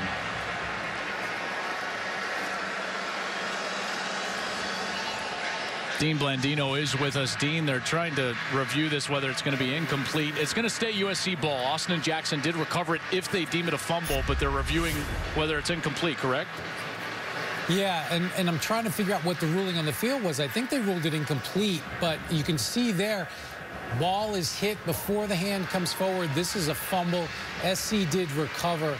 And then instead of the clock being on the snap, they'll wind the clock coming out of this because it was a fumble. And and Dean, if I'm not mistaken here, they're based on the recovery, this is going to be a couple of yards different if it is yeah, a fumble. I think there's there's a, a, yard or two difference from the line of scrimmage. It'll go wherever the ball was recovered. Only on fourth down would it come back to the spot of the fumble. So this is difference here of a couple of yards. And then as Dean pointed out, the difference in clock as Slovis continues to be looked at here on the bench. He's trying to shake it off.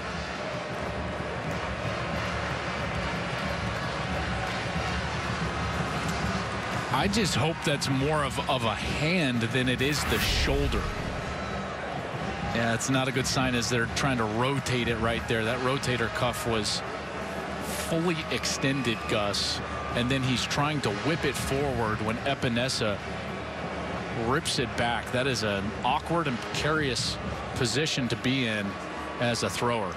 And folks, if you are watching A.J. Epenesa for the first time, Chase Young is the best pass rusher in all of college football.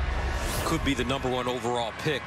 But A.J. Epenesa is one of the best pass rushers in college football. And he's going to have a decision to make after this year. There's some analysts believe that and teams believe that he could be and sneak into the back end of the first round if he were to leave early. He is a junior, has a year of eligibility, has 10 sacks in back-to-back -back years. Quiet, unassuming young man. Some inside the program at Iowa believe and wouldn't be shocked if he comes back based on his upbringing, his family situation, the fact that he loves it at Iowa, can get his degree. Uh, but he does have a decision to make, and he is a terrific player.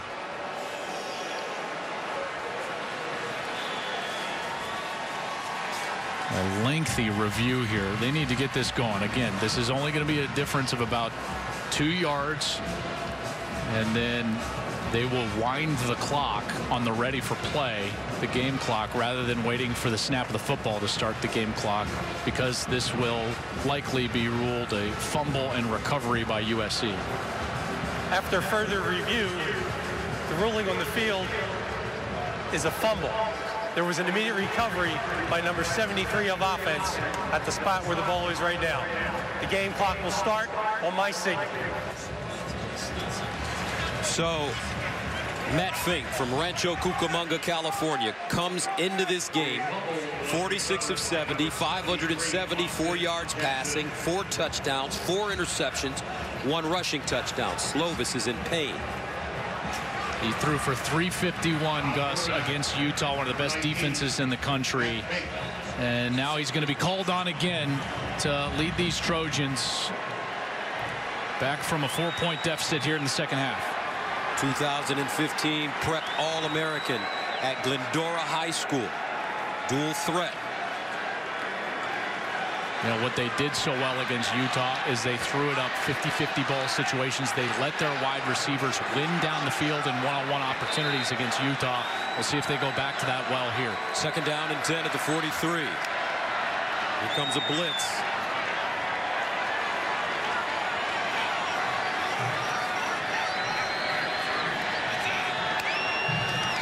Fink with the pitch. Malepeai trying to pick his way forward and he won't go far. Gang tackling by the Hawkeyes. And that pass rush, I told you it got heated up in the second quarter. Slovis continued to be under the rest, even though they got down the field for a touchdown. And Epenesa and company be charged with getting after Matt Fink now here in the second half. Third down and nine, a passing situation.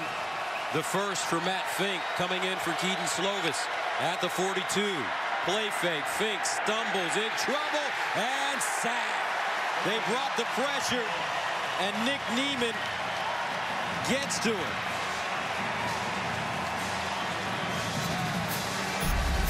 A mistake here, you're going to have tackle and guard block one player. And what that allows for is Niemann is going to come and he's just totally free right in the middle of the field. They also brought Breton, excuse me, Dean Belton, the nickel back on the outside.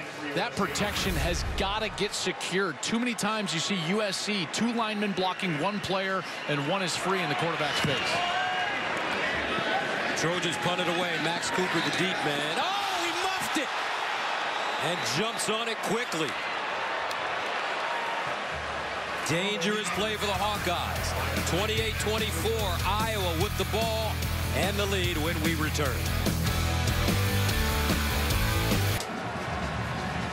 Kedon Slovis back in the medical tent for USC going out here in the third quarter. A.J. Epenesa trying to strip the ball away on the pass rush. All of those drills you see him doing that are kind of thumb down, pressure on the hand, seeing if he can lift his arm. Because all of those are rotator cuff type drills to see how strained that really was that last possession. From the 10-yard line, Iowa starts. First down. Stanley standing strong in the pocket, and Goodson with the catch. Olaijah Griffin comes up with the tackle. You know, this is only the fourth series that Iowa has been on the field offensively and USC has been on the field defensively because of the four possessions in the first half. One of them was a kick return. Now this is the opening possession for Iowa in this second half. Brian Ferentz has done a great job of both attacking the USC defense and yet also having that ball control style that is limiting the number of possessions for his opponent. Second down and five. Play fake. Stanley delivers over the middle incomplete. Tyrone Tracy Jr., the receiver, he was open, but that ball thrown high. Anytime your wide receiver is over the middle of the field as a quarterback, you have to do your very best to put the ball on his frame. It's so hard for that player to get reach above his head. All those bad thoughts start coming into your mind about the defenders around you. You got to call what's what frame him up. Throw that ball on his frame. Here on third down, you got to think Gus maybe Smith Marsette. He's been electric. Smith Marsette, there he is at the bottom. Third and five. Stanley underneath and caught Sam LaPorta.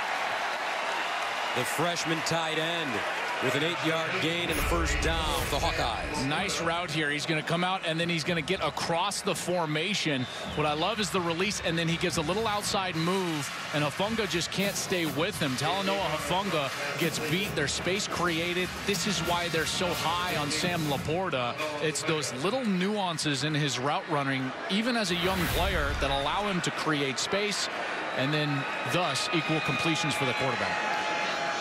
Four catches, 31 yards for LaPorta. First down at the 23. Stanley under pressure and incomplete. That one thrown out wide to Shaun Beyer.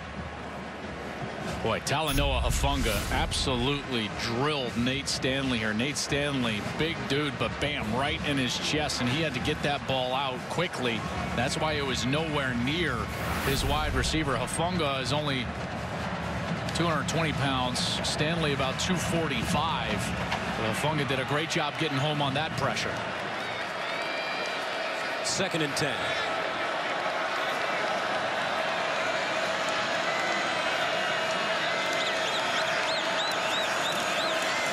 Goodson on the stretch, trying to get outside. but nothing doing. Hufanga made that play happen as John Houston comes up and makes the tackle.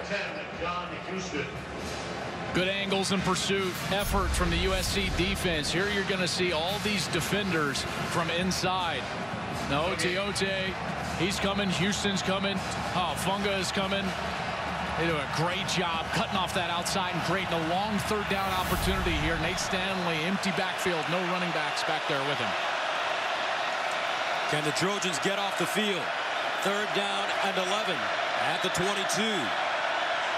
Empty set for Stanley. Here they come. Stanley standing strong. Another great catch by Sam LaPorta. And a first down for Iowa. Third and 11, and the Hawkeyes get 13. Come on. Young players aren't supposed to be able to do this. Stanley has to deliver the ball high because he can't follow through with the rush in his face. And LaPorta goes up the ladder. Beautiful catch with his hands and hangs on in front of the defender while being hit in the air. First down. So a first down for Iowa. Stanley, 14 of 17, 156 yards, and a touchdown. Toren Young comes in at running back. They'll give it to him straight ahead, and Young power running as he slices through the Trojan defense. Gaoteote finally brings him down. That is such a demoralizing conversion because this USC defense has not gotten off the field tonight. All three possessions that the Iowa offense has had the ball, they have ended up driving down the field six plays or more and scoring a touchdown. It looks like USC has the upper hand. They're going to force a punt, and boom, Stanley, big completion to LaPorta, and they move the chains. Second and two. Smith-Marsette in motion. Here's the give to Young, looking for the first down, and he has it. John Houston with the stop. And a first down, Iowa. And this is when they start leaning on you in that offensive line. They get that big conversion. They go right back to the run game. Couple of runs, move the chains. And this defense, which has not been out there for a lot of possessions or necessarily snaps, it's been out there for a lot of time. And you got to wonder how they're doing from a fatigue standpoint on that defensive line with this big Iowa offensive line leaning on them for most of the night. Formation. Ross and Young. Stanley. Timing pattern. Smith Marsette caught over the shoulder and out of bounds inside the USC 20. 35-yard gain. They try to go to Chris Steele in coverage one-on-one, -on -one, and Marsette beats him with what? Speed. All night long, Gus. Nobody for the Trojans have been able to run with Ihmir Smith-Marsette. His speed has been overwhelming. Another beautiful throw from Nate Stanley. He again is playing his best game potentially of his career. He is 15 of 18, 190 and one touchdown. He is shredding this USC defense apart. First down from the 19-yard line now for the Hawkeyes. The pitch. Goodson with blockers in front of him. Goodson hits the sideline and finally out of bounds at around the 12. Greg Johnson ushers him out of play. All right, you ready to see what a first rounder looks like?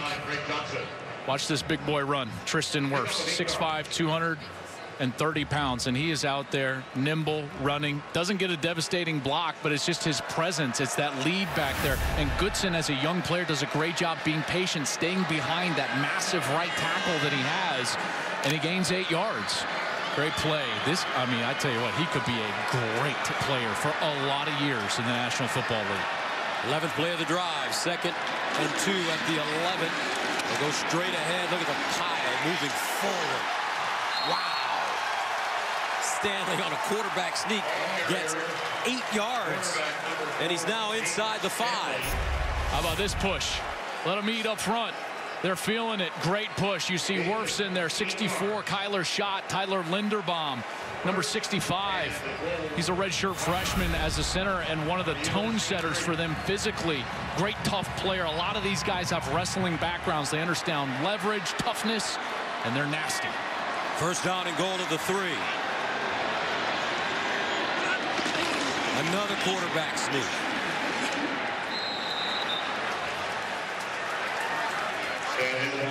Well, now they're just trying to flex, right? Now they're just they're just trying to flex. Big Ten football. That's right. we will ground you and pound you. That's what they do in the Big Ten, week in and week out. And this man, one of the great coaches in America, Kirk Ferentz, 64 years old, 21st season at Iowa. Second and goal at the one. Will they do it again? Yes, they will. Quarterback sneak.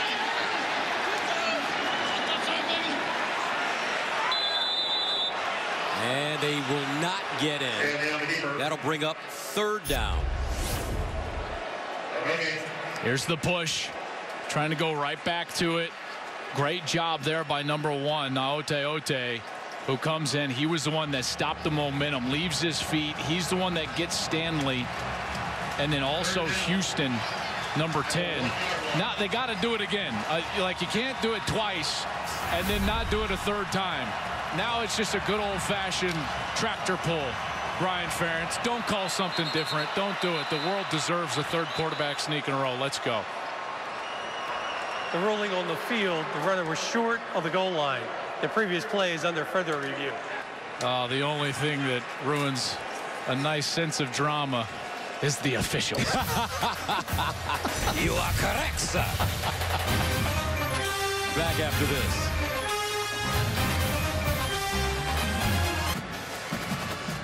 They reviewed that last play. They said that it stands as called on the field, that Stanley did not get in. So here we go. Third down.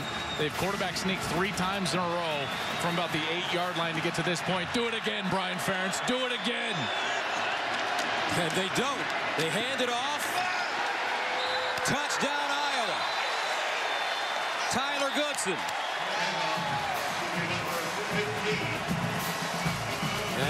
Takes a 34-24 lead. Well, he decides to go behind his best player, his most talented player, the Mauler, number 74, Tristan Wirfs on this side. Watch the push that Wirfs gets on the outside. That hole, he's way in the end zone. That allows Goodson the opportunity. Have a little jump step, and he gets in. Did look like he got that ball across before a part of his body hit the turf. Extra point up and good for Duncan.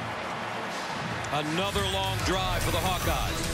14 plays covering 90 yards. They score seven. Iowa up 35-24. Nate Stanley leading Iowa on another long NFL-type drive. And how about this, George Kittle? Let's go, Hawkeye football. He's uh, pretty good tight end, I would say. Oh, my gosh. He's having a phenomenal year with San Francisco. And the 49ers win, and they are the one seed. Lose, they likely fall, I think, like to five. LaPorta, is he the next Kittle, Hockenson, Fant? I tell you, he's had some great catches tonight. And the six-minute drives have just killed USC. Last drive, seven minutes and 19 seconds. That's three drives tonight, over six minutes.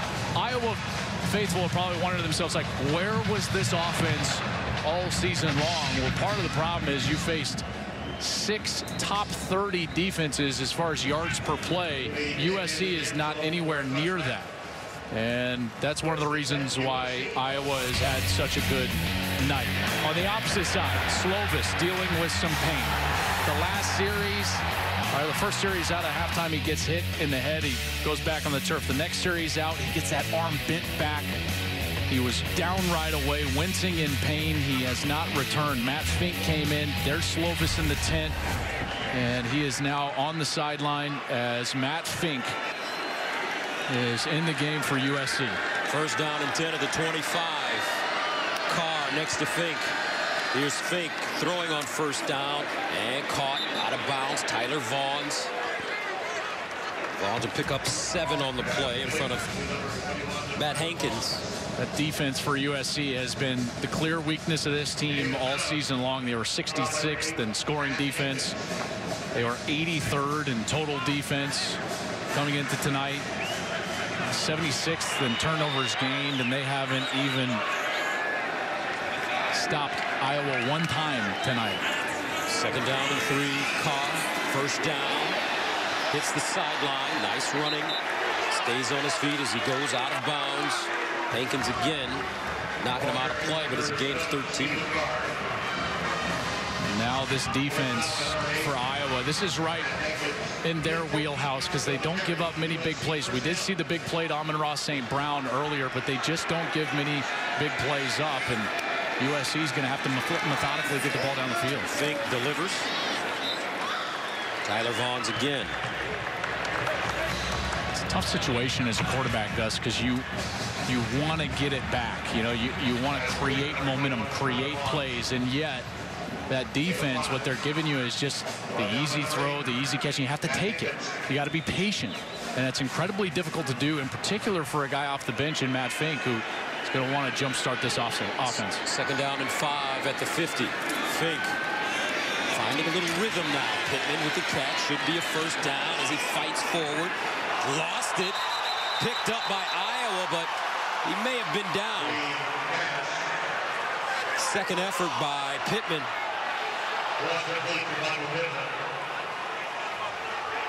And they gave it to the Hawkeyes.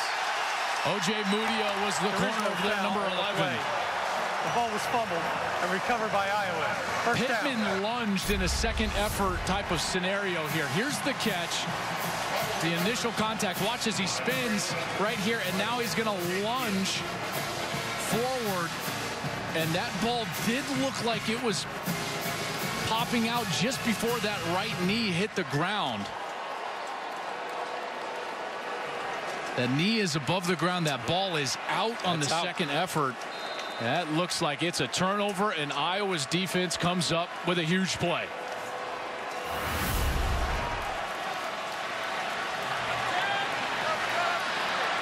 So the Hawkeyes take over at the 43.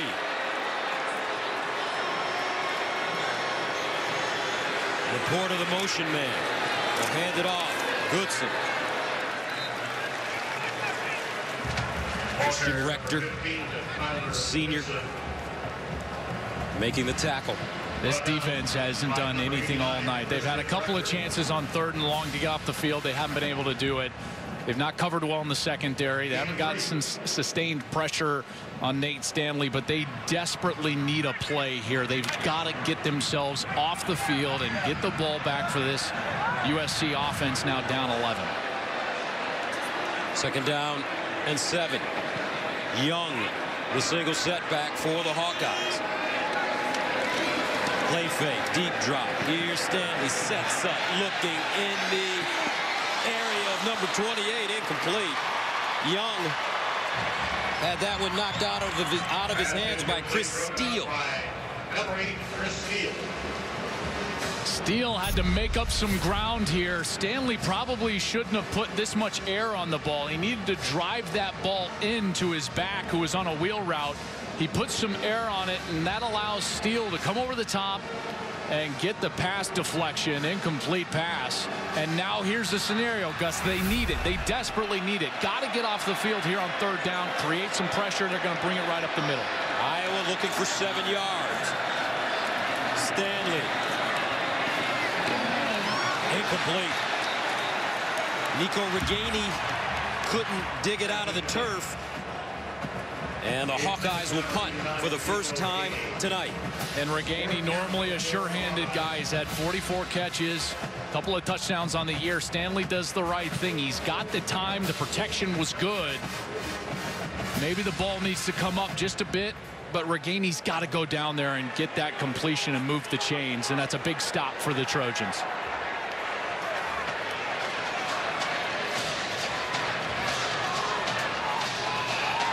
So Michael Sleep Dalton punting it away under pressure.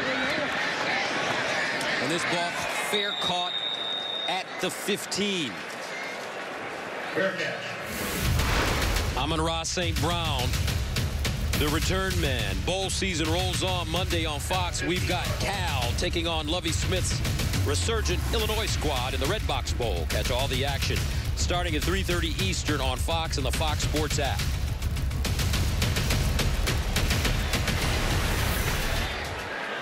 Amon-Ra St. Brown wears number 92 when he's returning punts.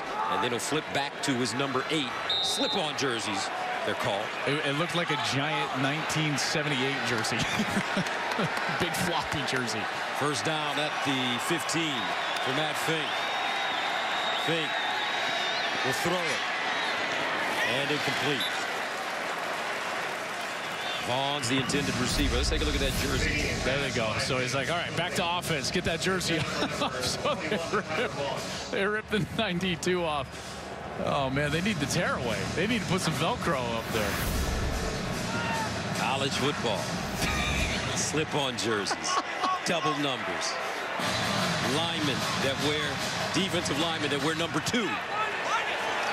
A challenge. Second and 10 at the 15. Fink. Rolls out. Drops it off. Carr. And Carr is leveled by Michael O.J. Mudia. The senior from Farmington Hills, Michigan. His older brother Mario, four-year letterman in Ann Arbor with the University of Michigan. This is exactly what Iowa wants. Go ahead and throw it short. We're up 11.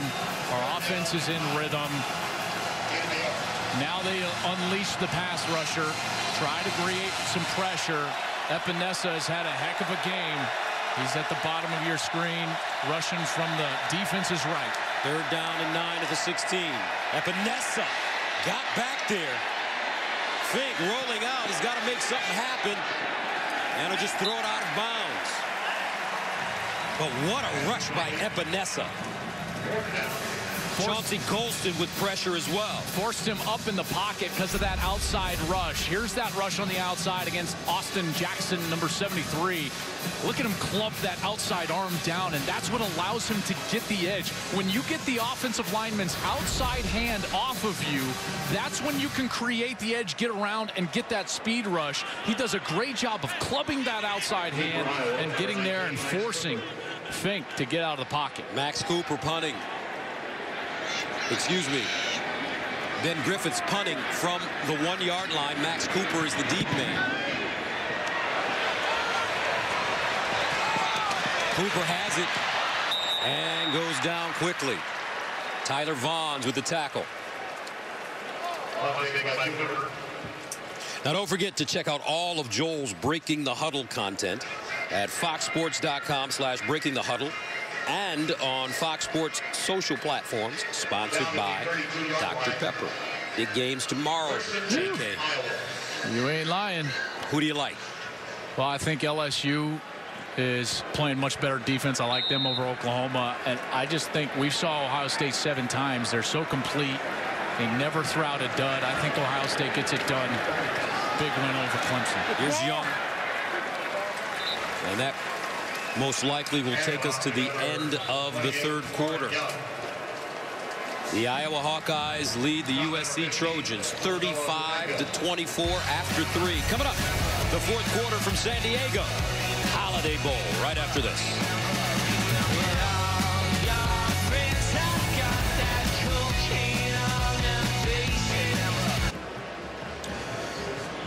Welcome back. Start of the fourth quarter, 35-24 Iowa as you take a look at the scoring by quarters. Gus Johnson, Joel Klatt, Jenny Taft, Dean Blandino in the studio in Los Angeles.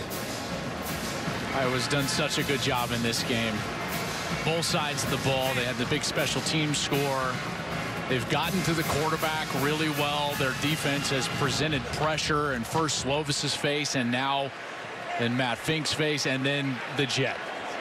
Ihmir Smith-Marsette. They haven't been able to deal with his speed. He's won all over the field, running the ball, catching the ball in the return game. And now this offense will try to grind it out here in the fourth quarter. Second down and five of the 37. Stanley looking and incomplete. That one thrown tad high for Wieting. And that brings up third down and five. Iowa with the big 21 points scored in the second quarter. It's been the big difference in this game. Smith-Marsette, a rushing, receiving, and a 98-yard kickoff return for a touchdown, all in the first half. Five of eight on third down. They've been doing it generally with their slot players, they're inside receivers on little curl routes and hook routes just over the chains. They're down at five. Stanley, incomplete. Smith-Marsette, he had running room in front of him, but that ball thrown low. Stanley under pressure. And Stanley really needs to make this pass. That one is easy. Marsette Smith is going to easily, Smith Marsette, excuse me, is, is going to easily make that first down. And he just totally shorts him, throws it right into the ground. Smith Marsette can't do, go down and get it. That's that inconsistency that creeps in with Stanley. He was so good in the first half. He was great early in the third quarter, but hasn't been as sharp over the last couple of series. St. Brown is the deep man. And he'll let it take a bounce. And it will be down at the 21. 22-yard line. So if you weren't with us, Kedon Slovis. During the kick, personal foul, face mask, receiving team, number 41. Half the distance to the goal penalty added from the end of the kick. First down. Timeout. Kedon Slovis out. Matt Fink in. Fourth quarter. SC down 35-24.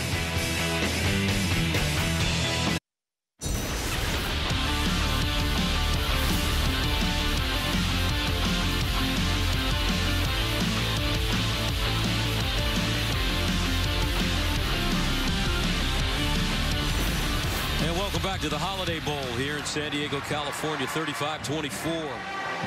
Iowa leading USC Trojans with the football first down and 10. At the 11, Matt Fink has come on for Kedon Slovis, who went out early in the second half with a shoulder injury. And he has not returned. Fink on first down. Malepeai cuts it back with some running room. Nice little jitterbug. Vavae will gain seven yards. And they've changed up their personnel a little bit here and trying to slow down this rush. So what they've done is they've brought on their tight end, Eric Krommenhoek, number 84. And they're playing now with kind of a three wide receiver and a tight end look so they can put him into the backfield if need be and get some extra protection if they need it for Fink. Malepeai again looking for the first down and he runs into a brick wall which is Kristian Welch the senior. And Kristian Welch, he's been so good for them. He got hurt in the middle of the year in that Penn State game, and he actually missed the game against Wisconsin. They lost by two points. His absence was certainly felt trying to stop Jonathan Taylor. Oh, my goodness, the ball is loose.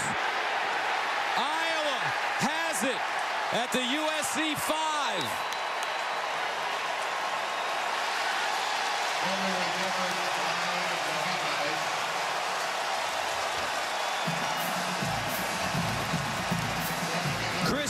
Welch with the recovery.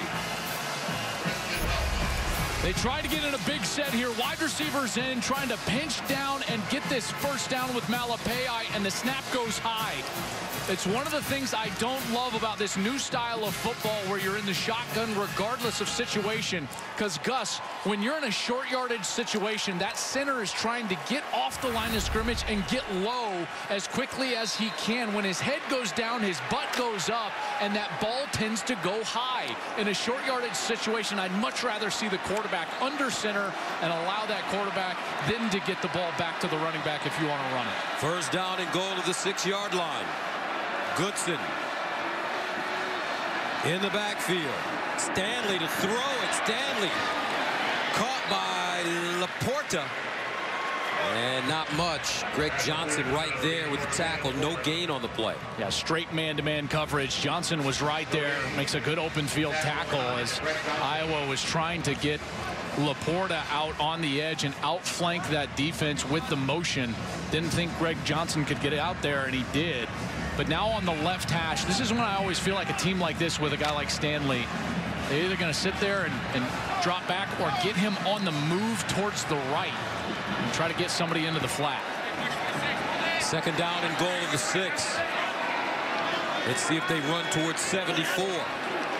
Here's Stanley in the end zone. Incomplete. Smith Marsette had not turned around yet. If he just gets his head around, that's a touchdown. This is actually a beautiful throw and timing from Stanley. It's supposed to be on the back shoulder with the way that he's running that route. He's not trying to dump that over the top towards the pylon. He's trying to throw a back shoulder little seam fade, and Mar Smith Marsette never turned around.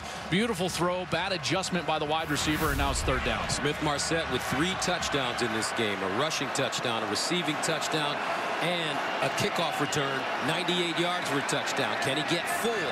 Third down goal of the six. Oh, what a mistake here. Did they get the timeout, or is this going to be a delay?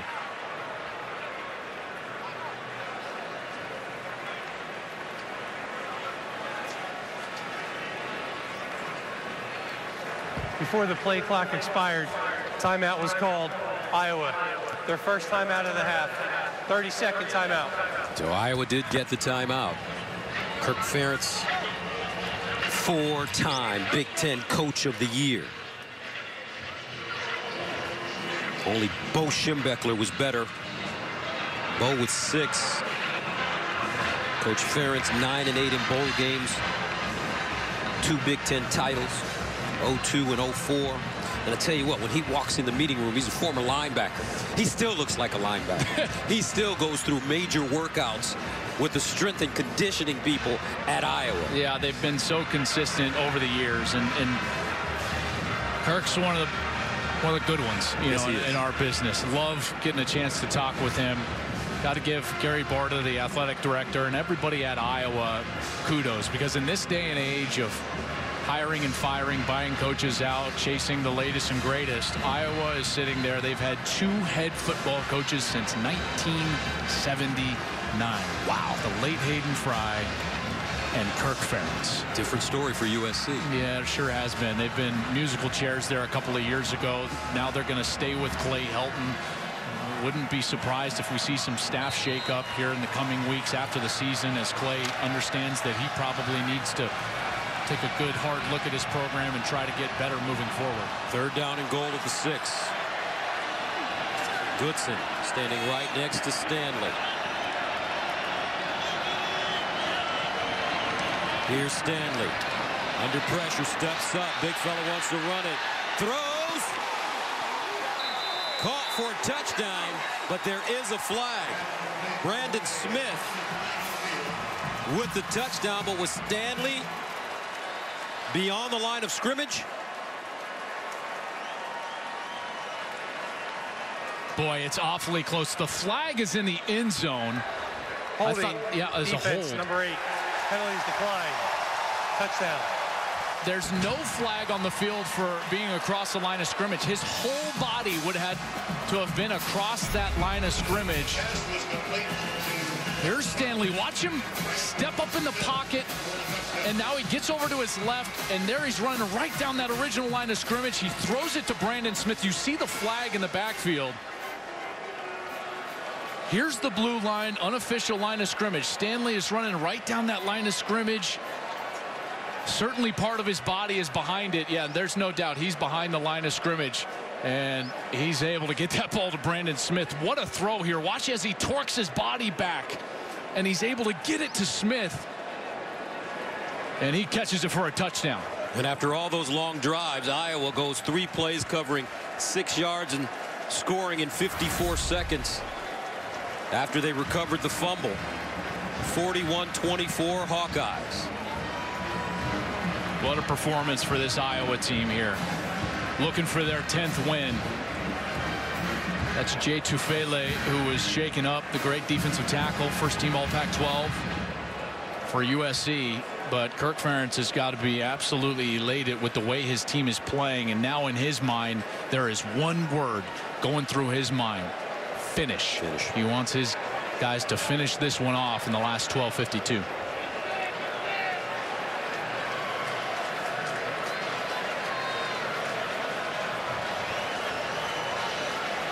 Stanley talking to his center, Tyler Linderbaum. This offensive line has given Stanley some nice protection this evening. 42 to 24. Iowa leading USC here in the fourth. Back after this.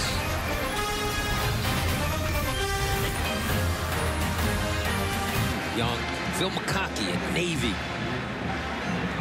Remember him with the New York Giants. Had just a spectacular NFL career. Will be a defensive and offensive MVP here, and certainly three quality candidates there: Ihmir Smith-Marsette, Nate Stanley, AJ Epenesa. Hawkeye send it away into the end zone for touchback. Ihmir Smith-Marsette tonight. First Big Ten player with rush TD, kickoff return TD, receiving TD since 2008. That was Derrick Williams of Penn State. First player in school history with two kickoff return touchdowns in a single season. He's done it in back-to-back -back games. How about against Nebraska in their last game and then tonight? Well, how about the 2018 Outback Bowl against Mississippi State? He set the bowl game record with 150 kickoff return yards and he tied a career high with four catches, one of them a touchdown. And they'll throw it on first down. And it's Christon, first time we've called his name tonight, and he got a lot of playing time with all the injuries in the backfield for USC. He was the only healthy back when they played Oregon, and Oregon rolled into the Coliseum earlier this year and really handed it to USC. USC was really outclassed in that game, in particular in the second half, and Similar field tonight.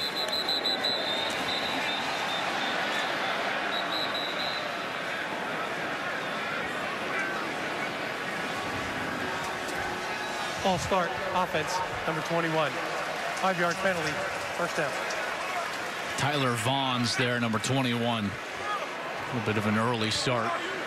You know, we've seen this USC team, and, and they start out so fast, and it's tough to cover them. But then the problem is Obviously, Slovis tonight gets banged up. He had his bell rung a little bit. Then he got that shoulder bent back. Part of the problem, I think, is, is they've got to commit more to the run game. There just has not been enough run game, and so the pass rush for their opponents can just start teeing off on their quarterback.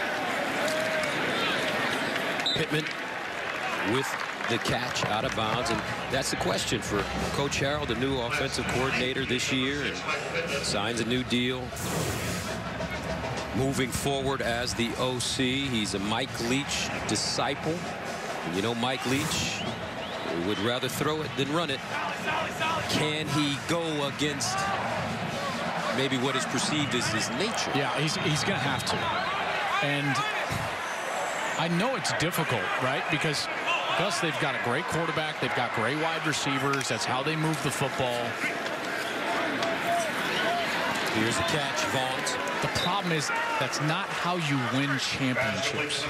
You've got to do things like melt the clock away, protect your quarterback, protect your defense. All of that is part of the game. It's not just about offensive numbers. I'm not saying Graham's just about offensive numbers, and he's still a young guy. And I think when talking about him, he understands that protecting Kedon Slovis in the future with the run game is going to be very important. He believes in the run game much more than Mike Leach does. Mike Leach does not call run plays. That is not what the future is going to be for USC, but when you get into these games in these big environments against good defenses, you've got to keep the pass rush honest. Third down and four. Somebody has got to be looking at the play, play clock. Game, offense. Five-yard penalty. Third down. Gus, if a backup quarterback is in the game, it is one coach on the sidelines sole job to look at the play clock because you realize that the backup quarterback has so much going through his head. It's tough for him to think of everything, in particular the play clock. Somebody's got to be but watching that. Right I, listen, I get it, but sometimes he's looking at A.J. Epenesa instead of that you know, big red clock. That's true. Someone's got to call timeout there. Third down and nine. Fink incomplete. Vaughns the intended receiver. SC with Slovis going out is totally lost yeah. their mojo. Yeah, completely. Fink has nothing like he had against Utah. They got some of those big completions down the field. And when that bright star, Kedon Slovis, left the game, the air completely left the sails of the USC Trojans. They had a lot of momentum. They had the onside kick. They scored early in the third quarter. And ever since then, it's just been Iowa body blows. Cooper deep. Has it at the 25. 10-19 to go. Iowa with the football right after this. Bowl games are about more than just the game for most teams. They are also about experiencing this new city. On Tuesday of this week, both teams enjoyed a visit to the USS Theodore Roosevelt. And on Wednesday, Iowa went to the world-renowned San Diego Zoo, and USC dropped by SeaWorld for some fun and some rides. That was Michael Pittman on there. Bayless Jones was to his right. he was not having it, was First down and 10 of the 26 for the Hawkeyes. Up 42 to 24.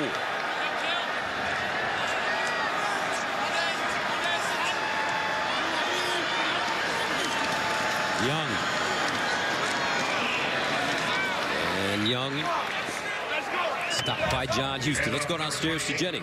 Well, Gus, I know we speculated this would be the end for Kedon Slovis, but now an official word from USA, he is done because of a shoulder and elbow sprain. And obviously, just watching him on the sideline, his teammates coming up to him, Pittman spending some time with him, Helton as well, and he has tried to remain as involved in this game as possible, but he's been very careful to make sure that right side stays loose. He's been holding it, supporting it with his left side, jacket on, and you mentioned it, it really did take so much out of the sideline with his loss.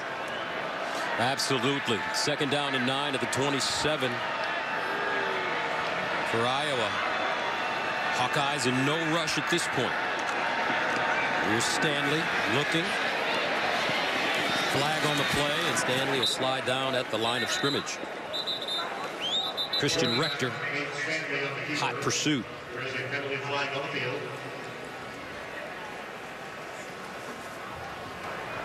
There is no foul on the play. Second down.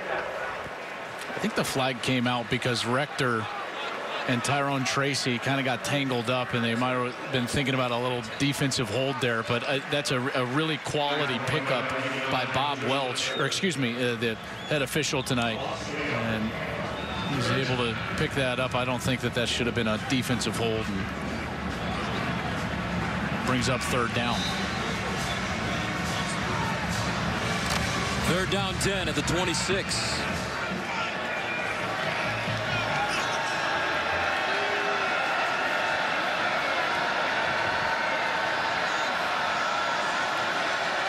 Smith Marsette the motion man. Here's Stanley to throw it under pressure and Stanley will be he gets roughed up. Nice job by Greg Johnson on the blitz. They finally get home. Clancy Pendergast was wanting to bring some pressure. Watch here, you're going to finally see number nine, and he just comes into your screen. Again, a couple of guys blocking one guy up front. You had the left guard, Mark Kallenberger, as well as Tyler Goodson, kind of in there blocking one player, and that allows Greg Johnson to get in there and flex on Nate Stanley. Michael Sleep Dalton punting for the third time. He'll punt this time out of his own end zone. 825 and counting. Amon-Ra St. Brown is the deep man.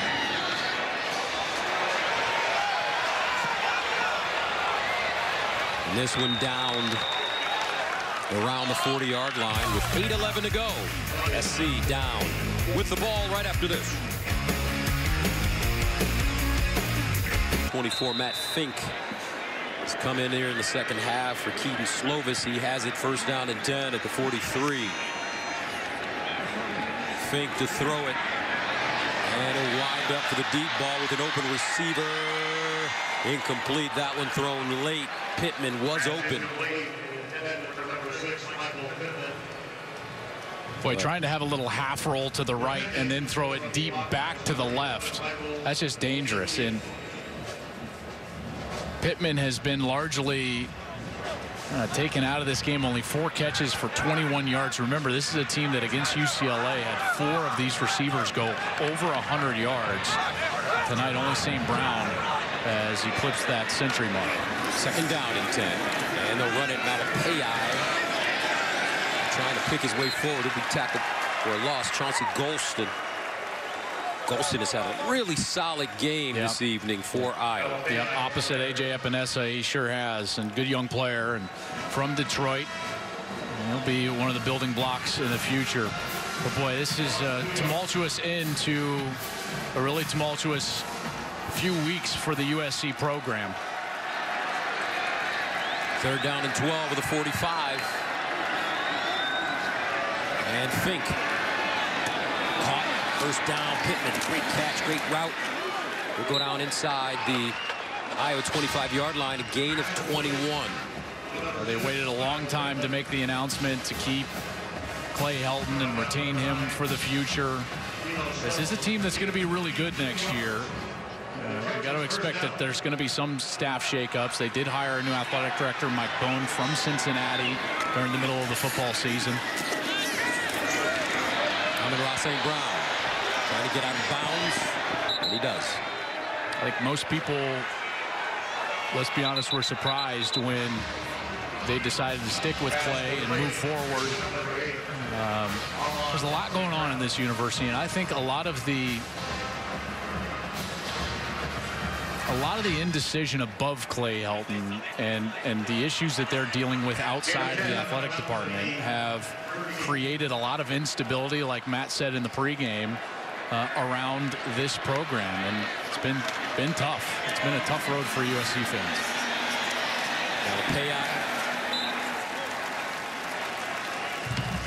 Then obviously the recruiting on the early signing day did not go well. They were the 78th ranked class. Now, to be fair, when you only sign 11 players because there's only 11 spots, you're not going to have a high ranking. Those are cumulative rankings, not average. If you do average it out, it's not a ton better, but it is 38th in the country. If you average out their 11 recruits, nine of them on the line of scrimmage, three defensive line, six offensive line. Underneath, incomplete, Vaughns the intended receiver. You know, I've been doing USC games now, Pac-12 games this is my ninth year. And uh, you've been waiting. We've been waiting. We've been through Lane Kiffin and Sarkisian. Orgeron in there for a second. Orgeron. So much, as you mentioned, instability. Yeah. Decision making, decision makers. We just love USC, their tradition, but sometimes it feels like it takes 10,000 people to screw in one light bulb. Third down and 11. It's a great way to put it. At the 13. Fink in trouble. And he's sacked.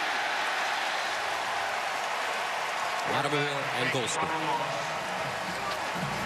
That pass rush has been dominant really from the second quarter on. Those defensive linemen have absolutely gotten after it. Did a heck of a job. Golston he gets there. Epenesa gets there. And they have a little party at the quarterback. Matt Fink had no chance. And USC will have to settle for a field goal. Again, a product of not being able to run the football at all. That pass rush has teed off constantly. And I understand that the margin right now on the scoreboard plays into that. And the field goal, no good. McGrath hooking it. 5-12 to go. Iowa will take over. High fives going all around for Iowa fans. Kirk Ferentz will win his 10th bowl game. Man, he's been to 17 bowl games. He's got a heck of a team here. What a year Iowa has had. They'll win their 10th game tonight, Gus. They'll be 10 and 3. Their three losses, all to ranked opponents. Michigan, Penn State, Wisconsin by, a combined 14 points. Total 14 points. Wow. Hayden Fry loved the Holiday Bowl. He absolutely did. And he loved this program. And he put the foundation in place for what has been one of the top 10, 15 programs in the country over the last 10 or 15 years. What a great job Kirk Ferentz has done, and he's continued the legacy of what was built under Hayden Fry. The late Hayden Fry in 1983 had one of the best staffs in history. Barry Alvarez was on that staff. Dan McCarney, Kirk Ferentz, Bill Snyder, and Bob Stoops were all on that staff. Those five individuals on one college football staff have the most career wins at five different universities. That is an astounding fact and foundation and legacy of the late and great Hayden Fry.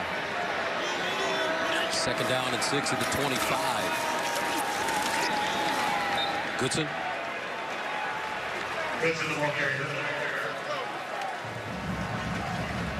As you look to the future for this Iowa team, obviously they'll have to replace their quarterback, Nate Stanley, and then they're going to sit and they're going to wait because a lot of guys have to make decisions.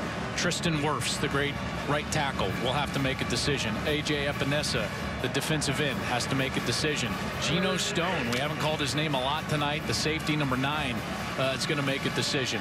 I think Wirfs is probably talented enough to go, but if he comes back I think you're talking about Tristan Wirfs as a potential top two, three pick in the entire draft if he were to stay in school another year. Oh, look at this throw. And a first down for the Hawkeyes.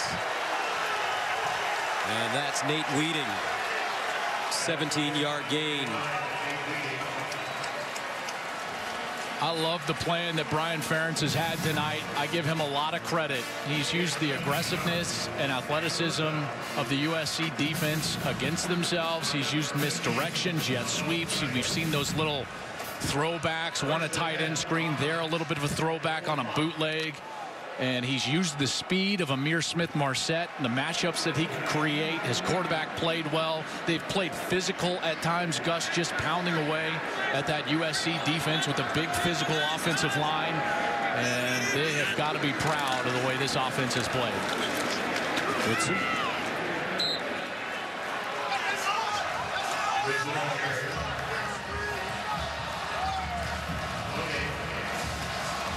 Nobody appreciates this style of win more than the Iowa fan base, right? Yes, no doubt about it. Tough, hard nose, long drives, running the football. Some good game planning, flashing Ihmir Smith Marsette. Boy, they are unapologetic about their style, the way that they go about it, the way that they develop their players in the strength and conditioning program.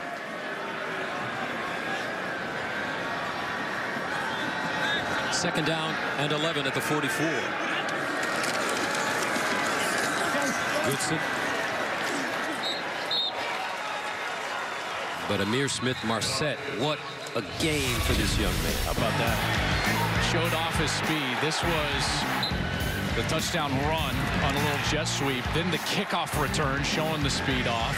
This was a great run after the catch on a little wide receiver screen as he gets into the end zone. Here, I thought he was going for the quad, the, the touchdown pass, and it was just out of the reach of Brandon Smith when Smith-Marsette goes in the locker room, he better go up to Brandon Smith and say, hey, leave, caught your, that. leave your feet, man. You're right, you're leave right. your feet. Player down right now, though, for SC. And that's Taylor-Stuart, the freshman from San Diego, right here, Helix. Isaac.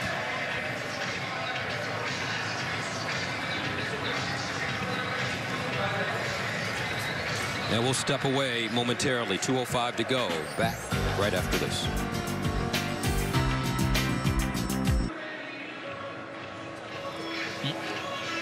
Welcome back. 2.05 remaining in this football game. Iowa with a big lead second half. SC came out, looked as if they were really ready to take a step forward, but uh, Slovis got hurt and everything changed immediately. Uh, pass rush started getting after him. A.J. Epenesa had a, a great night. And really, you know, it wasn't just the Iowa defense. The offense was spectacular, really led by Nate Stanley and Ihmir Smith-Marsette. And Nate Stanley did do a little damage on the record book for Iowa tonight. He moved into second place all time most career passing yards in Iowa history. Now only looking up at the great Chuck Long. Nate Stanley has thrown for 8,302 yards as an Iowa Hawkeye. Isaac Taylor-Stuart walking off on his own.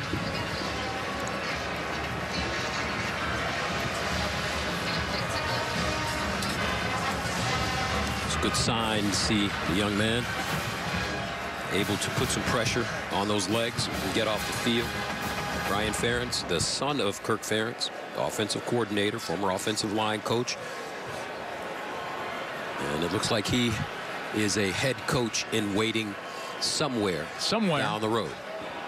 And with the current trend in college football at Oklahoma and Ohio State and now at Washington, maybe Gus is at Iowa. Kirk Ferentz, 64 years old. 21 seasons at Iowa. Third down five. Stanley to throw it. Looking for the first down to end the game. Incomplete. Smith Marsette, but a flag on the play. Penalty flag on the field.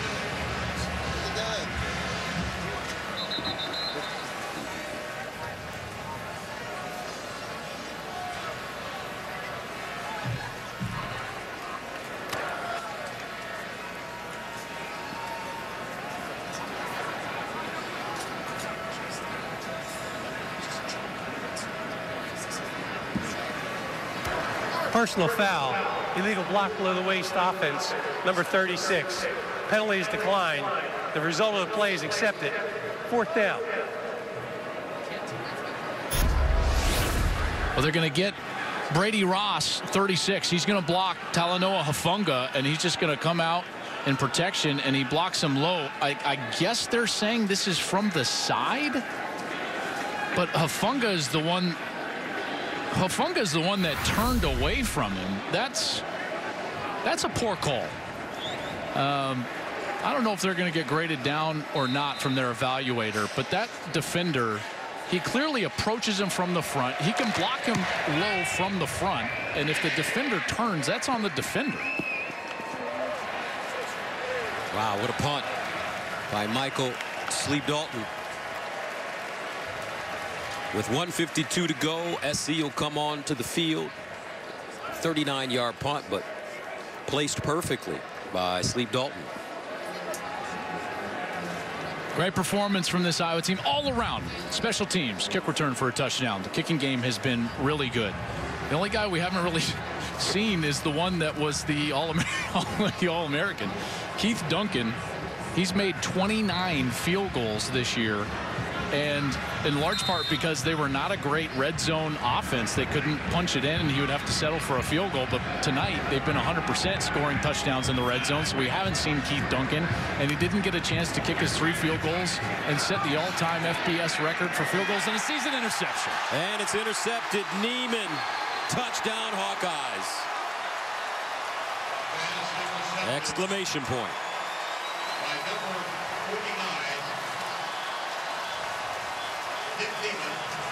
25 yards. And the Hawkeyes go up 48 to 24. That's a special play for Nick Niemann. His father is on the coaching staff. Jay Niemann is the assistant defensive line coach here for Iowa, and he watches his son Nick in the Holiday Bowl read the eyes perfectly, get the pick, and gets all the way into the end zone. Pick six for Nick Niemann, the junior from Sycamore, Illinois.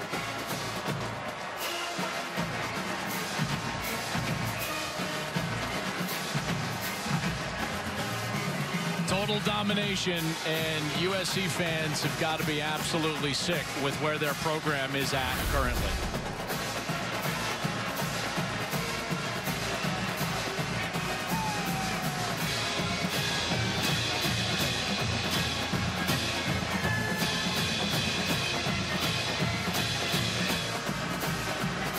What a performance for these Hawkeyes. They're just confirming upstairs that he was able to get into the end zone, and they do that And Iowa looks to tack on their 49th point here in San Diego. What a night for the Hawkeyes. Wow. A pick six, a kick return for touchdown, two passing touchdowns, three rushing touchdowns. Complete domination for Iowa. 143 to go, 49-24. A minute 43 remaining in the fourth. This Iowa team so disciplined, so prepared coming into this game. They got some spectacular performances from a number of different players. 49 to 24 our score. Gus, I like I just I'm staring out of the field and I'm, I'm watching the fan base for Iowa celebrate right now with their team. I'm watching Kirk Ferentz and the smiles and you look over and you've got one program that let's be honest is the absolute picture of stability and consistency in college football and then one on the other side that quite frankly is searching for an identity and to say that about the University of Southern California is striking. It's hard. Feel for them, I'll tell you that.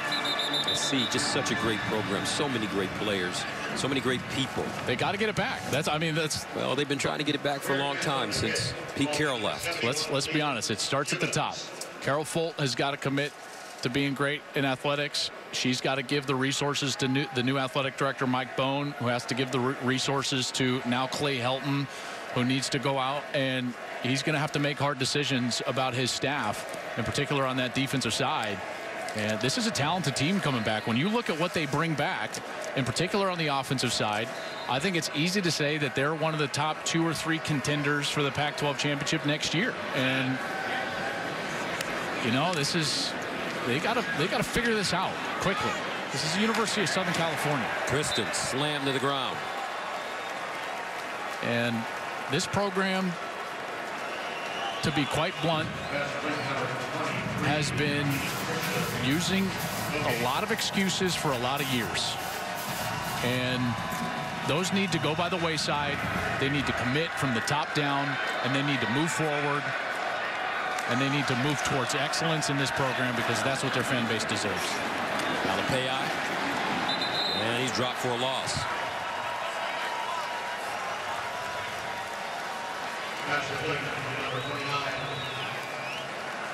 On the other side, a great year for Iowa. Their only losses, Michigan, Penn State, Wisconsin, Kirk Ferentz.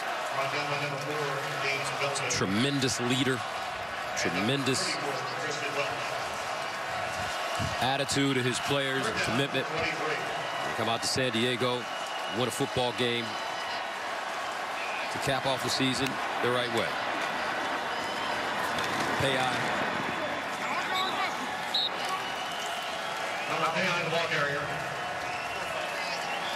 Looks like that's the final play of the game. Iowa will improve to 10 and 3. SC drops to 8 and 5. Kirk Ferentz and the Hawkeyes win at 49 big points to 24. What a performance. Kirk Ferentz, his staff did a great job getting their team ready for this bowl game. Had a good week here in San Diego. They came out here and totally dominated. All three sides, Gus. What a great performance by a very consistent program. 49-24, the final.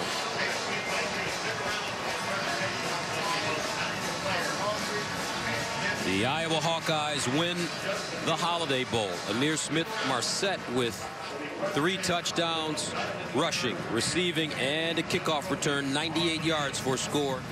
LaPorta, the freshman tight end, with some tremendous catches. Nate Stanley was solid. Their quarterback, A.J. Epenesa, got a sack, strip. Was just all over the field this evening. Let's go downstairs to Jenny Taft. I know that it was important for this team to get to the double digits in the win column and for you a third bowl victory. What does it mean to this group to finish this season in this fashion? Uh, it's extremely special. Uh, you know, we put in so much time and effort together that, uh, you know, when our when our goal of a Big Ten championship was off the line, we set a new goal and we set our sights on it and went at it full force.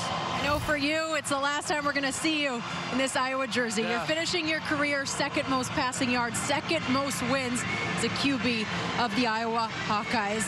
What has this experience been like for you as you reflect on your time? Yeah, the last four years have been the best four years of my life. Uh, I can't say enough about my teammates, my coaches, you know, our fans. They're great. Uh, you know, it's just been extremely special to be able to play for this team and, and get to play for Coach Ferentz. I also have to ask you, just because the Iowa community has been dealing with some loss in the last month, playing for Bump Elliott, for Coach Fry, for the Beathard family, how much more did the win mean because of that?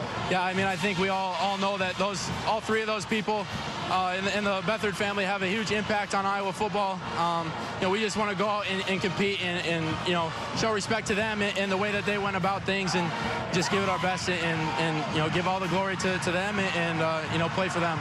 It's been a pleasure watching you these last couple years. We wish you all the best. Thank you very much. Thank you. Nate. All right, the final score here at the Holiday Bowl. Iowa 49, USC 24. Coming up after this short break, we'll have the trophy presentation.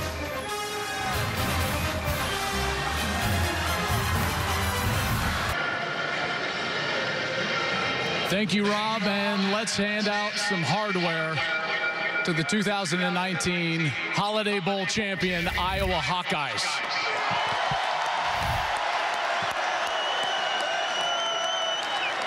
To help me tonight, the president of the Holiday Bowl this year, Mr. Paul Herring.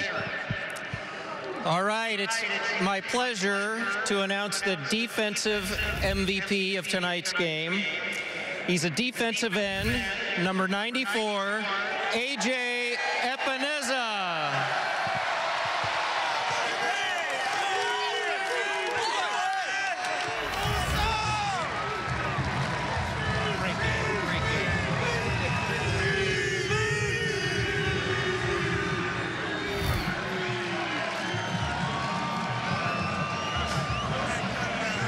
His teammates are chanting one more year. AJ, what a great performance you guys had defensively. In particular, in the second quarter, you guys ratcheted up the pressure on Kedon Slovis and their passing game. What was said on the sideline to make that adjustment? Um, we, we know that's what they like to do, and um, we just want to exploit that and play hard and pin your ears back and get off the quarterback, and that's what we did.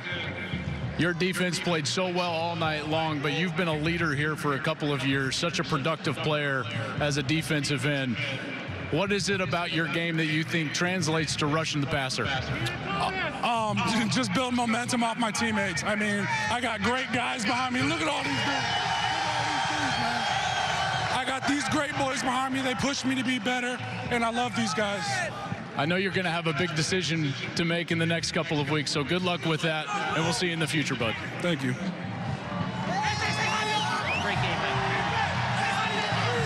All right, Paul, offensive MVP time. All right, our offensive MVP tonight, incredible performance. He's a wide receiver, number six, Ihmir Smith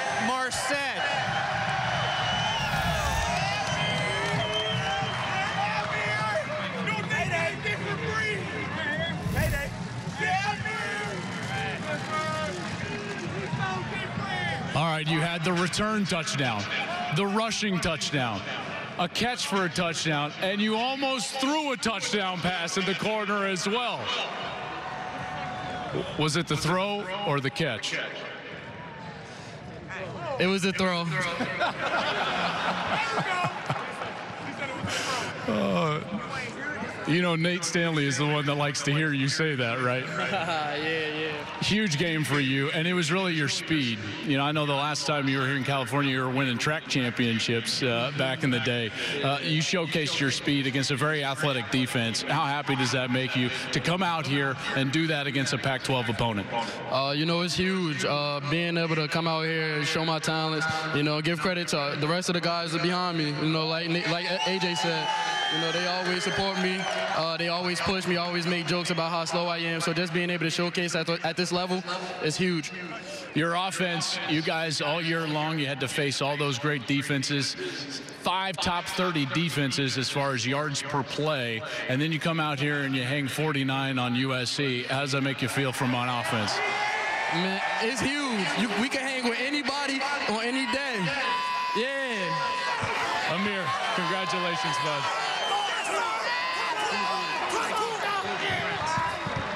All right. And now I have the pleasure of presenting the Holiday Bowl, SDCCU Holiday Bowl Championship Trophy to a great guy, head coach of the Iowa Hawkeyes, Kirk Ferentz.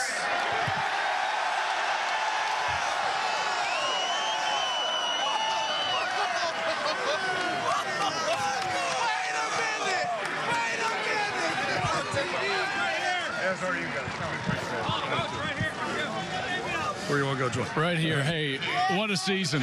What a season. You want to put that down or you want to hold it? Yeah, okay, let's hold it. I love it. 10 wins. You know how hard it is to get to that. What do you say about this group? Get to that mark for you. First of all, it's a really special accomplishment, and uh, these guys did the work. They're tremendous uh, football players, they're a tremendous team, and they're better people, and that's what we're proud of.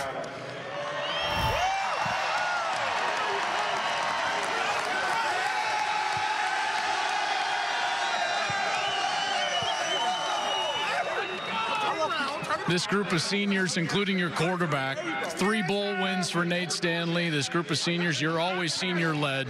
You talk about that all the, all the time, the development of all these guys throughout their four and five years. What can you say about this senior class and what they've accomplished? You know, I can't say enough about the seniors. 19 great guys. They started working five years ago, four years ago. But what they've done since January, uh, they've just set set the bar for everybody.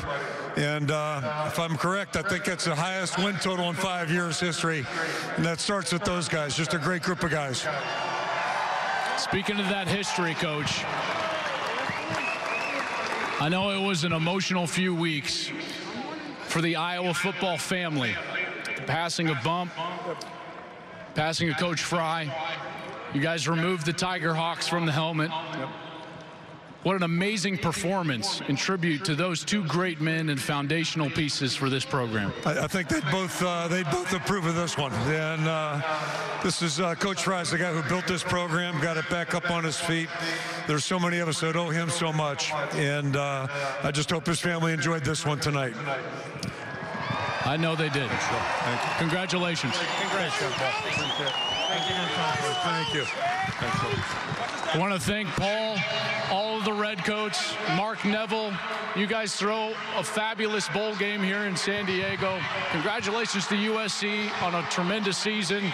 And for the last time, congratulations to the SDCCU 2019 Holiday Bowl champions, the Iowa Hawkeyes. Let's get back to Los Angeles. Rob Stone.